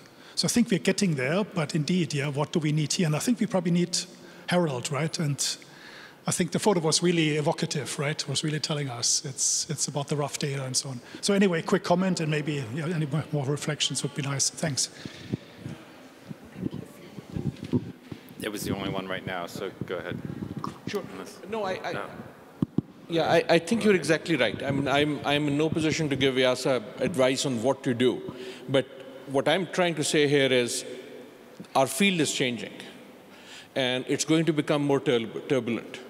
You're exactly right. Lots of people, IIASA included, have done adaptation, but I kind of see this, you know, there's a lot of people who are trained to work on mitigation. All my students are. For 30 years, I've been producing people to make models and do work on mitigation. Now, when we see this age of adaptation, many of them aren't really ready for it, and therefore the natural human impulse is, let me keep doing what I know, the hammer thing right? That was mentioned earlier. So my, what I'm trying to alert here is that something is happening now. The adaptation also, and I think you rightly pointed out, mitigation is necessarily global, right? A molecule has an origin, but doesn't have a flag. A molecule is a molecule is a molecule. Adaptation is necessarily local, right? And even more than resilience, it becomes a question of vulnerability. That's why it highlights the justice argument in mitigation justice was still easier. Uh, your, you can cut emissions cheaper, I will pay you and get your credits. But now you're talking about floods and you're talking about droughts and you're talking about glaciers and so on and so forth. So not only is climate politics becoming messier, as we are seeing, it's becoming more contentious. I am suggesting climate science is also going to become more contentious. Right now, we are all polite with each other. But my friends essentially say, but you're talking development, not climate. Mm-hmm. And I say, yes, I'm talking development, which is climate. right? That's, that's, that's the space in which someone, I hope, will redefine climate policy, just as we have redefined it many times before, to, to a more granular level. Thanks. It's a couple of questions now. Joanne, I saw. So let's take a couple, and then Pat and, and Gerald. Yeah we'll get you next. Joanne, Joanne first, right behind. Oh, you're right there. Okay. Thank you for the fascinating presentations and. It's on, yeah. Yeah. I would also like to know more about rough data, but I would like to link this uh, adaptation mitigation uh, debate or topic. And I think maybe the uh, it's, it's a politically contested point, maybe, but this is where justice comes into picture. Of course, one part of both adaptation and mitigation is technological aspect, but we then have to somehow also address the social aspect uh, in a sense that the uh, mitigation uh, from the high consumption segments of society uh, has to flow towards, uh, it's maybe a bit abstract a thing I'm trying to say. This has to flow towards enabling adaptation for the low consumption segments or those who are already suffering. Thank you. So transfer. Gerald, do you want to, while we're here, one in the front. So this is um, uh, addressed primarily to Atul, but also to Harald a little. Um, I'd like your thoughts about the prospects for integrating uh, system science and systems thinking. So just to take your uh, map, uh, systems thinking that I've been working in for 35 years is really at the top of your, uh, your diagram there. And a lot of system science is down at the bottom, uh, bottom right. And the trouble is with systems thinking is it's kind of abandoned the bottom right territory and only uh, working up there. Um, what it offers um, in terms of justice, though, is there's 30 years' work there about how to conceptualize the understanding between uh, linking boundary judgments and values. Uh, it's, there are theories of conflict and marginalization and a lot of approaches for how to intervene on those things. So really, you have got the cap capability there if, if it's possible to do, if it's possible to do. Try to respond, or, or to Pat's point also about the fairness, or?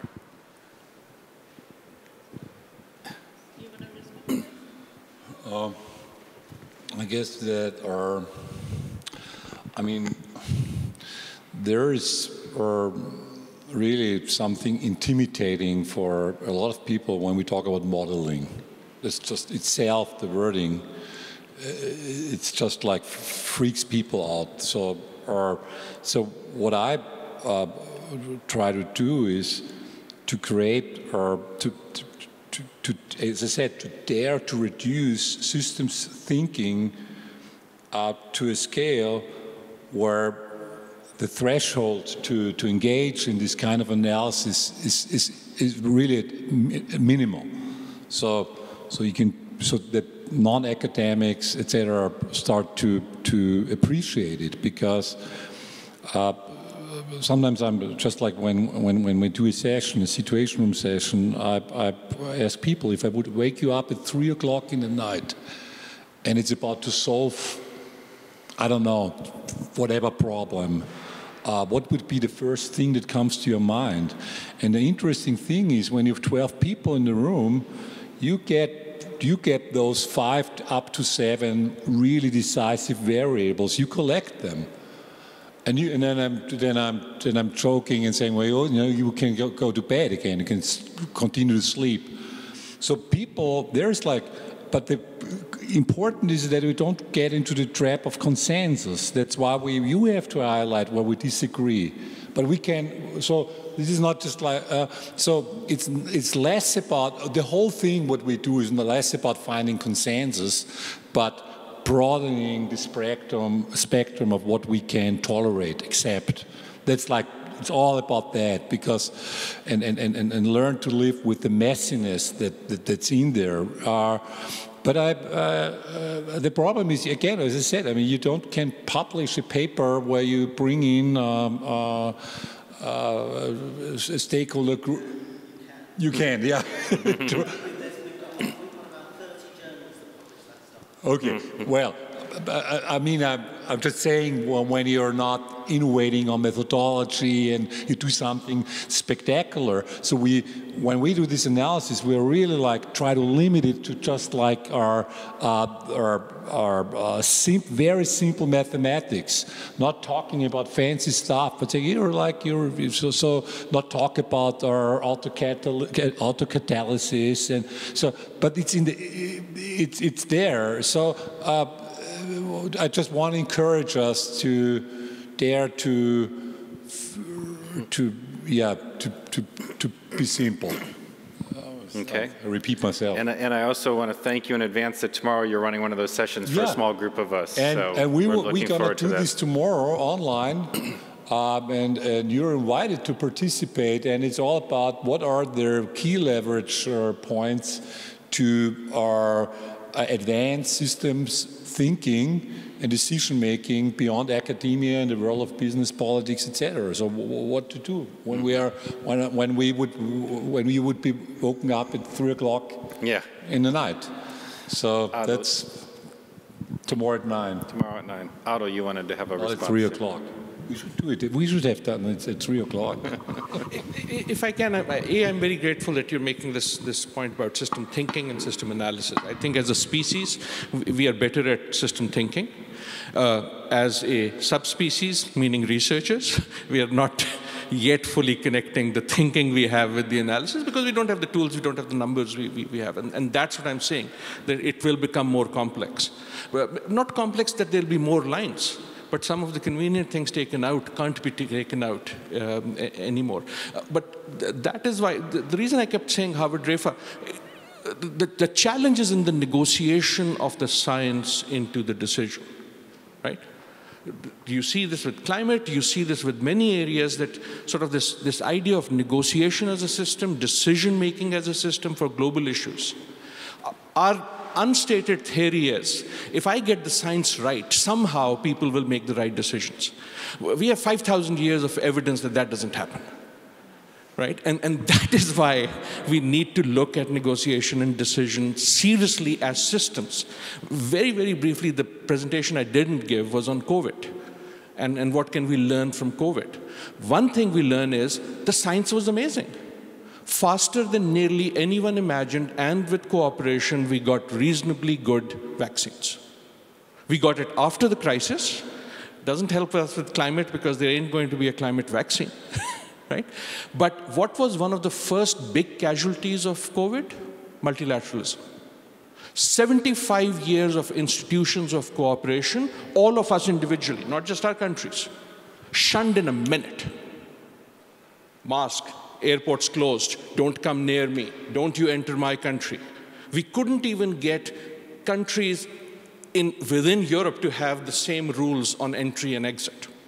Right? This was one of the most spectacular failures of international cooperation when we were hit by the, the largest global crisis of our lifetime, right? Which was simply a rehearsal of the other crises coming. Mm -hmm. That's what why I'm saying sort of we need to think about systems uh, even broader, which is not a criticism of where we are. What I'm saying is we've done a lot, but it's about to become much more tense. Right? One, one point, because Albert is, is, is staring at me. Money was the other lesson of COVID. Money is never the problem. Anyone, any donor who tells you don't, they don't have money is a liar. I'm sorry. Is they're lying. What they're really saying politely to you is, we don't want to give our money to you. We are ready to give it to someone else. When you got COVID, it took the US Congress nine days to dream up a, a trillion dollars and five days to spend it. If the 100 billion can't come for climate, it's not because the money isn't there. It's because despite what we say, we really don't believe it is existential. The moment we do, voila, money will come. Right? 6.25 trillion just in the US on COVID. Once we believed it was real, the money shows up. So when people tell you they don't have the money, they're just being polite. they just don't want to give it to me. Thanks, Atul. Um, Ursula, you wanted to have a response. Last word then. Thanks. I just wanted to say one more thing about the adaptation, the justice, and the fairness. And thanks for bringing up the money, because that's exactly where it is, right? So the science also does not point out properly where what we can do right? So it's not helped with uh, we have another flood somewhere and so many people died and so many people are without homes. It doesn't really bring it home. Or in Africa, so many people live below $5 a day or whatever it might be. It really does not bring it home. And I think these, these sort of broad and globalization of the issues and just bringing them in broad strokes is also not helping us. What we need is, is solutions for local solutions for the people that live there. Like you say, adaptation is local and can only be local. And if the money is not there, then it's not because it's not there, and I fully agree, but because it, it is not um, a big enough issue for those who have the money. Okay? So, and I think we're up for some tough conversations about this because obviously we uh, cannot uh, carry on as it is, and especially when uh, some part of uh, the globe starts now li living less comfortably, perhaps with climate change. Um, we might see a situation as during COVID, who knows, that we uh, close our borders more. Uh, but we, in the long run, we will not escape. And I think science has a lot to contribute to that, but we're not there yet to actually contribute substantially to these issues. Thank you. Okay, great. Uh, with that, I think we'll go ahead and close the session and uh, go to lunch. So thanks again, everybody.